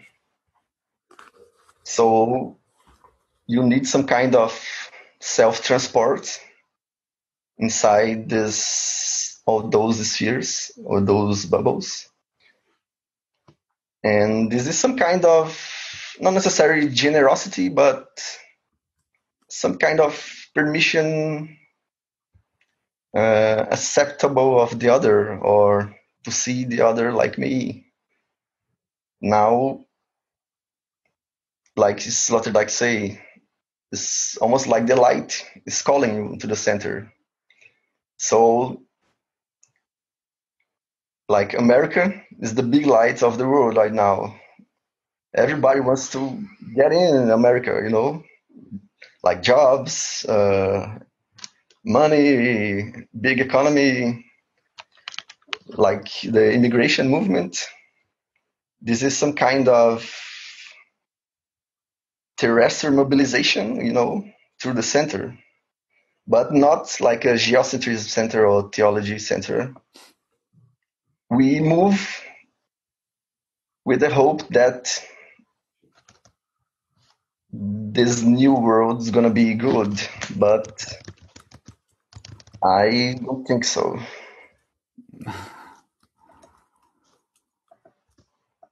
It's almost like a conquer the space, you know, the sea, the land, the earth, the air. We are doing this right now with the earth, you know. If you see and think this idea of orbit, the earth right now is some kind of um, exo-womb that, that is spinning and we are putting things to spin around her, you know, like satellites, spaceships, the ISS. And this is, I think, the idea of Sloterdijk, like some kind of a space that you can grow or you can build or improve yourself. Because if you not do this, you're not going to survive. He talks about a second immunity. You know, once you lose the orb, that you have to find a second immunity through your own potentialities. Maybe. And yeah, I mean, I think that that's like that idea of taking matters into your own hands somewhat. I mean, that's what's you know what's the society we want to we want to live in you know what's how how like you said like you said tj like how am i systemically possible what would be the society in which i could take you know the time and feel totally okay with it reading this entire book and uh, you know not feel pressured uh, by uh, you know threat of nuclear war economy uh, tariffs etc uh, you know th- this state of being is it's kind of hellish, right? I mean, it's sort of we're sort of in a purgatory, and that's kind of what one of the things I got too is uh, it was real too. Like the reading felt like purgatory, um, but but it's like that that concept formats like our exp- our, exp- our, exi- our experience and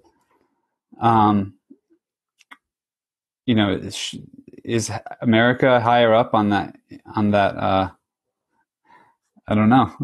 That's it might appear that way. Uh, and maybe it is in a lot of real ways too. In a lot of ways, yeah. But... Eduardo says so, so I believe him.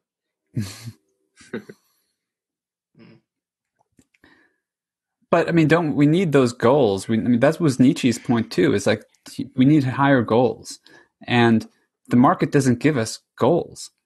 It satisfies wants and needs, but it doesn't tell us what we can be. Like in the in that deeper sense, I think that that like somebody who thinks the outside, somebody who steps outside of the provincial or steps outside of the personal, without not not say to lose it, but to meet the other, you know, to find the other. Uh, now we're talking about Aurobindo's difference between the modern barbarian and the person who's seeking something higher, though, too. well, I can't wait to read Aurobindo.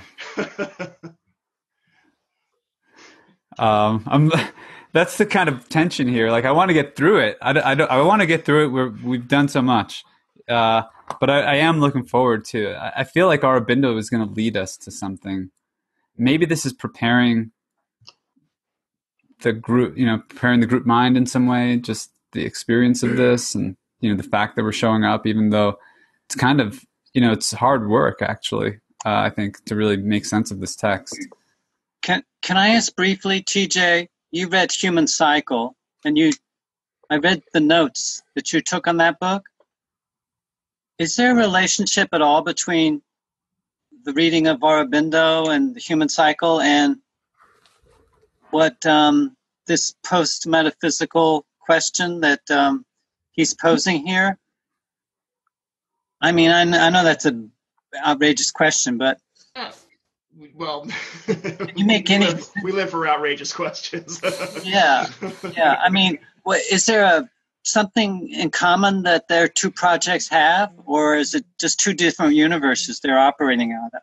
Because that's really interesting, and in and in the fact that Aurobindo is writing a hundred years ago, and Sloterdijk yes. is, is, very recent, is is very interesting, and Aurobindo I think it's more about language. I, I can't really say what the what the comparison is the, between the two because I haven't gotten to Foams yet. I mean, I'm still kind of waiting for a point here, um, in in some ways, you know. Um, or Aurobindo knew what he was setting out to do. Yes, and you know he, what? He, he his it's a collection of essays and he was thinking of it but he he started out with the point of i'm describing the vital and the intellectual and the super rational and, and i'm i'm starting here with with the history of it and i'm going to build it. And he's he spent the entire book building that argument. It's in every paragraph. Yeah every he's not every sentence has a structure right. within a structure within a structure you, very complex yeah. i don't get that in when i read Sloterdijk but now and these, he's closer to me in years. a decade ago he wrote this, but he seems to me like, whereas Aurobindo feels very much my contemporary. It's strange. Yeah. Aurobindo's not performative, though.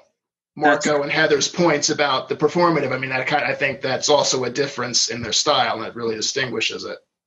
Um, that's a good. I'm going to have to chew on that one for a while too, because that's a yeah, yeah. Please. I think uh, a big factor with the question you're asking is Aurobindo focuses on the individual, whether it's individual perfection, even in the human cycle, it eventually gets it back around to the individual.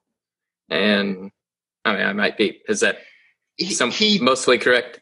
He, he, yeah, but he uses the individual's definitely part of a concentric you know attack, attack for bet for lack of a better word on on the collective and the social. He doesn't he doesn't it's integral. I can't even really think of a better mm-hmm. word than, than that. So, but so I see the individual he does have to he does he does come from a point where the individual center he's taking that seriously.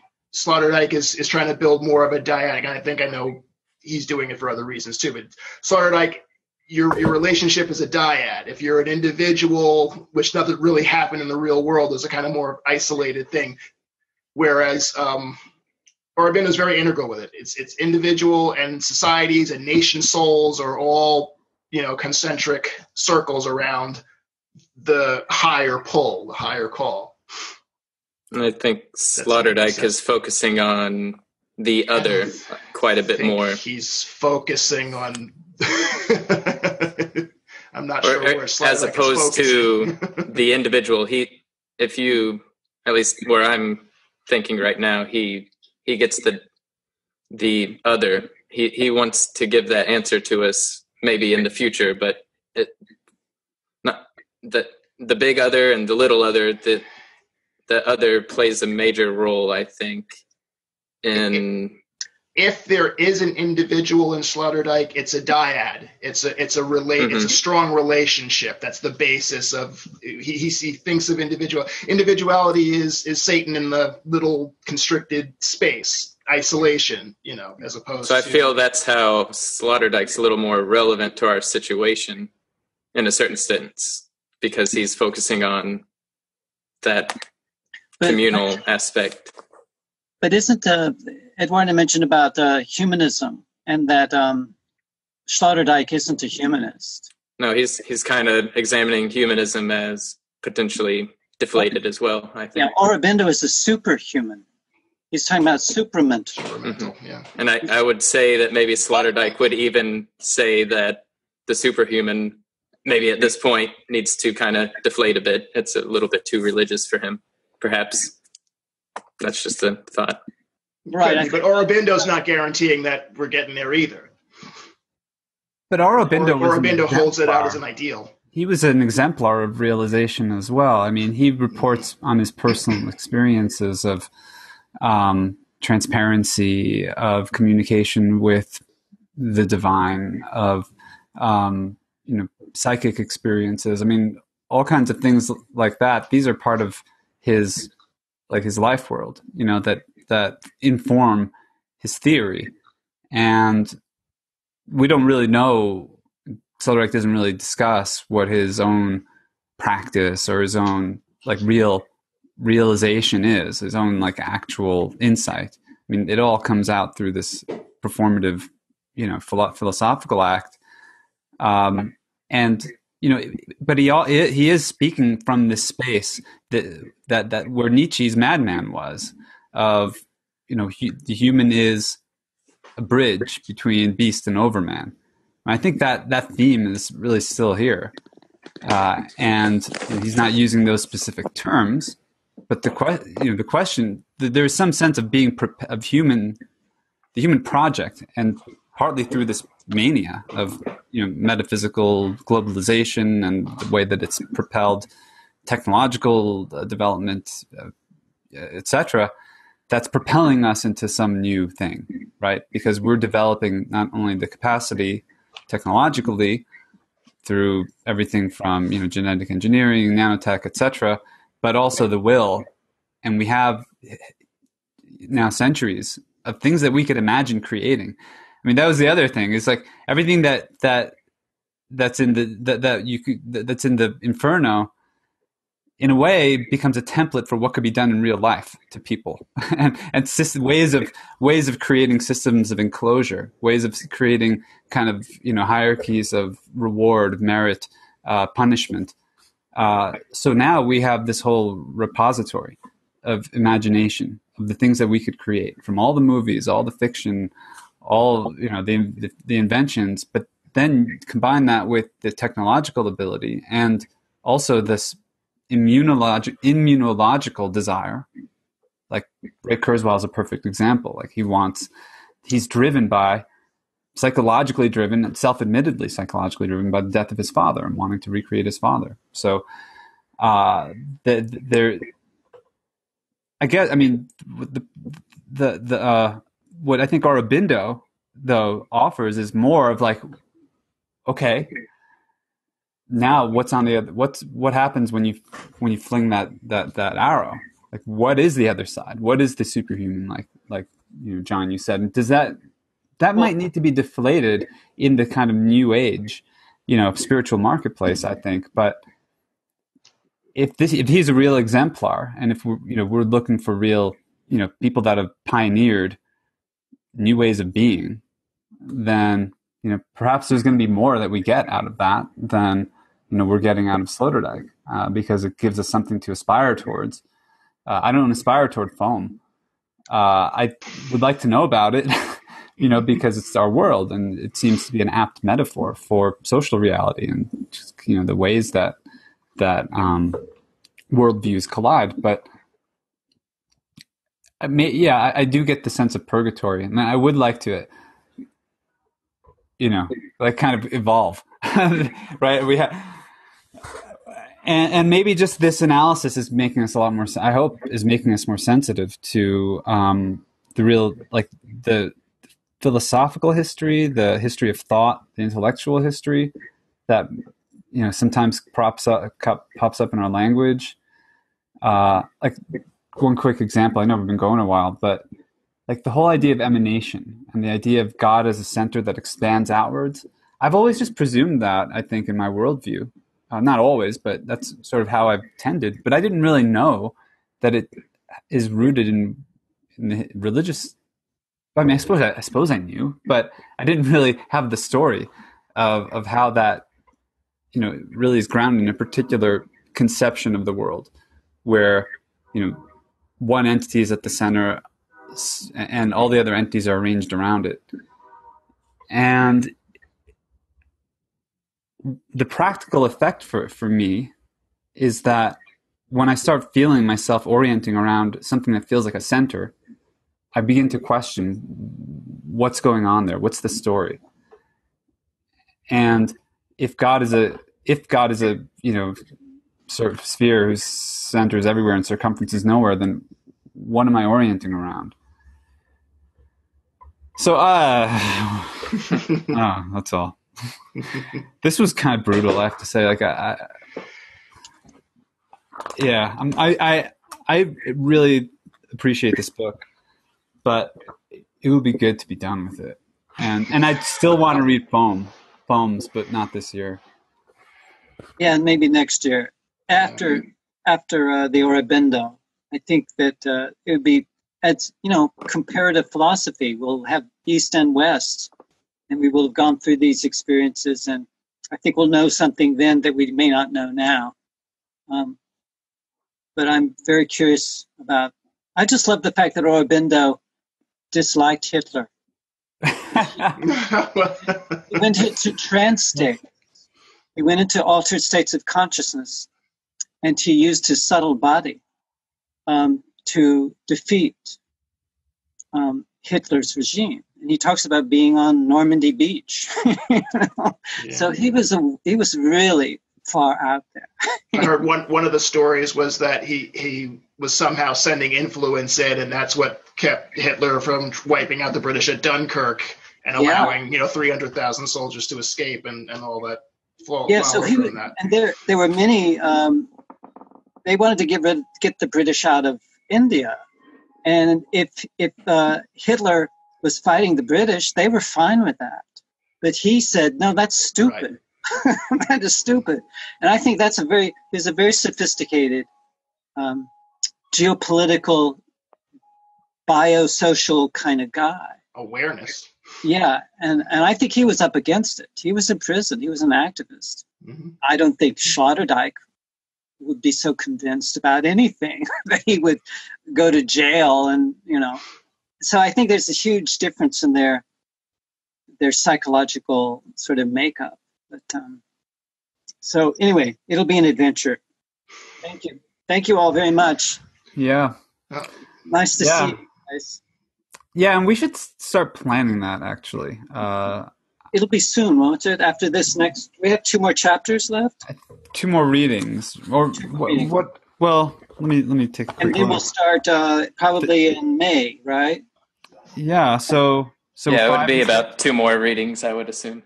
Oh, uh, yeah, yeah, seven. Yeah, seven and eight. Chapter seven, and I think there's a brief excursus or something, and then there's chapter eight.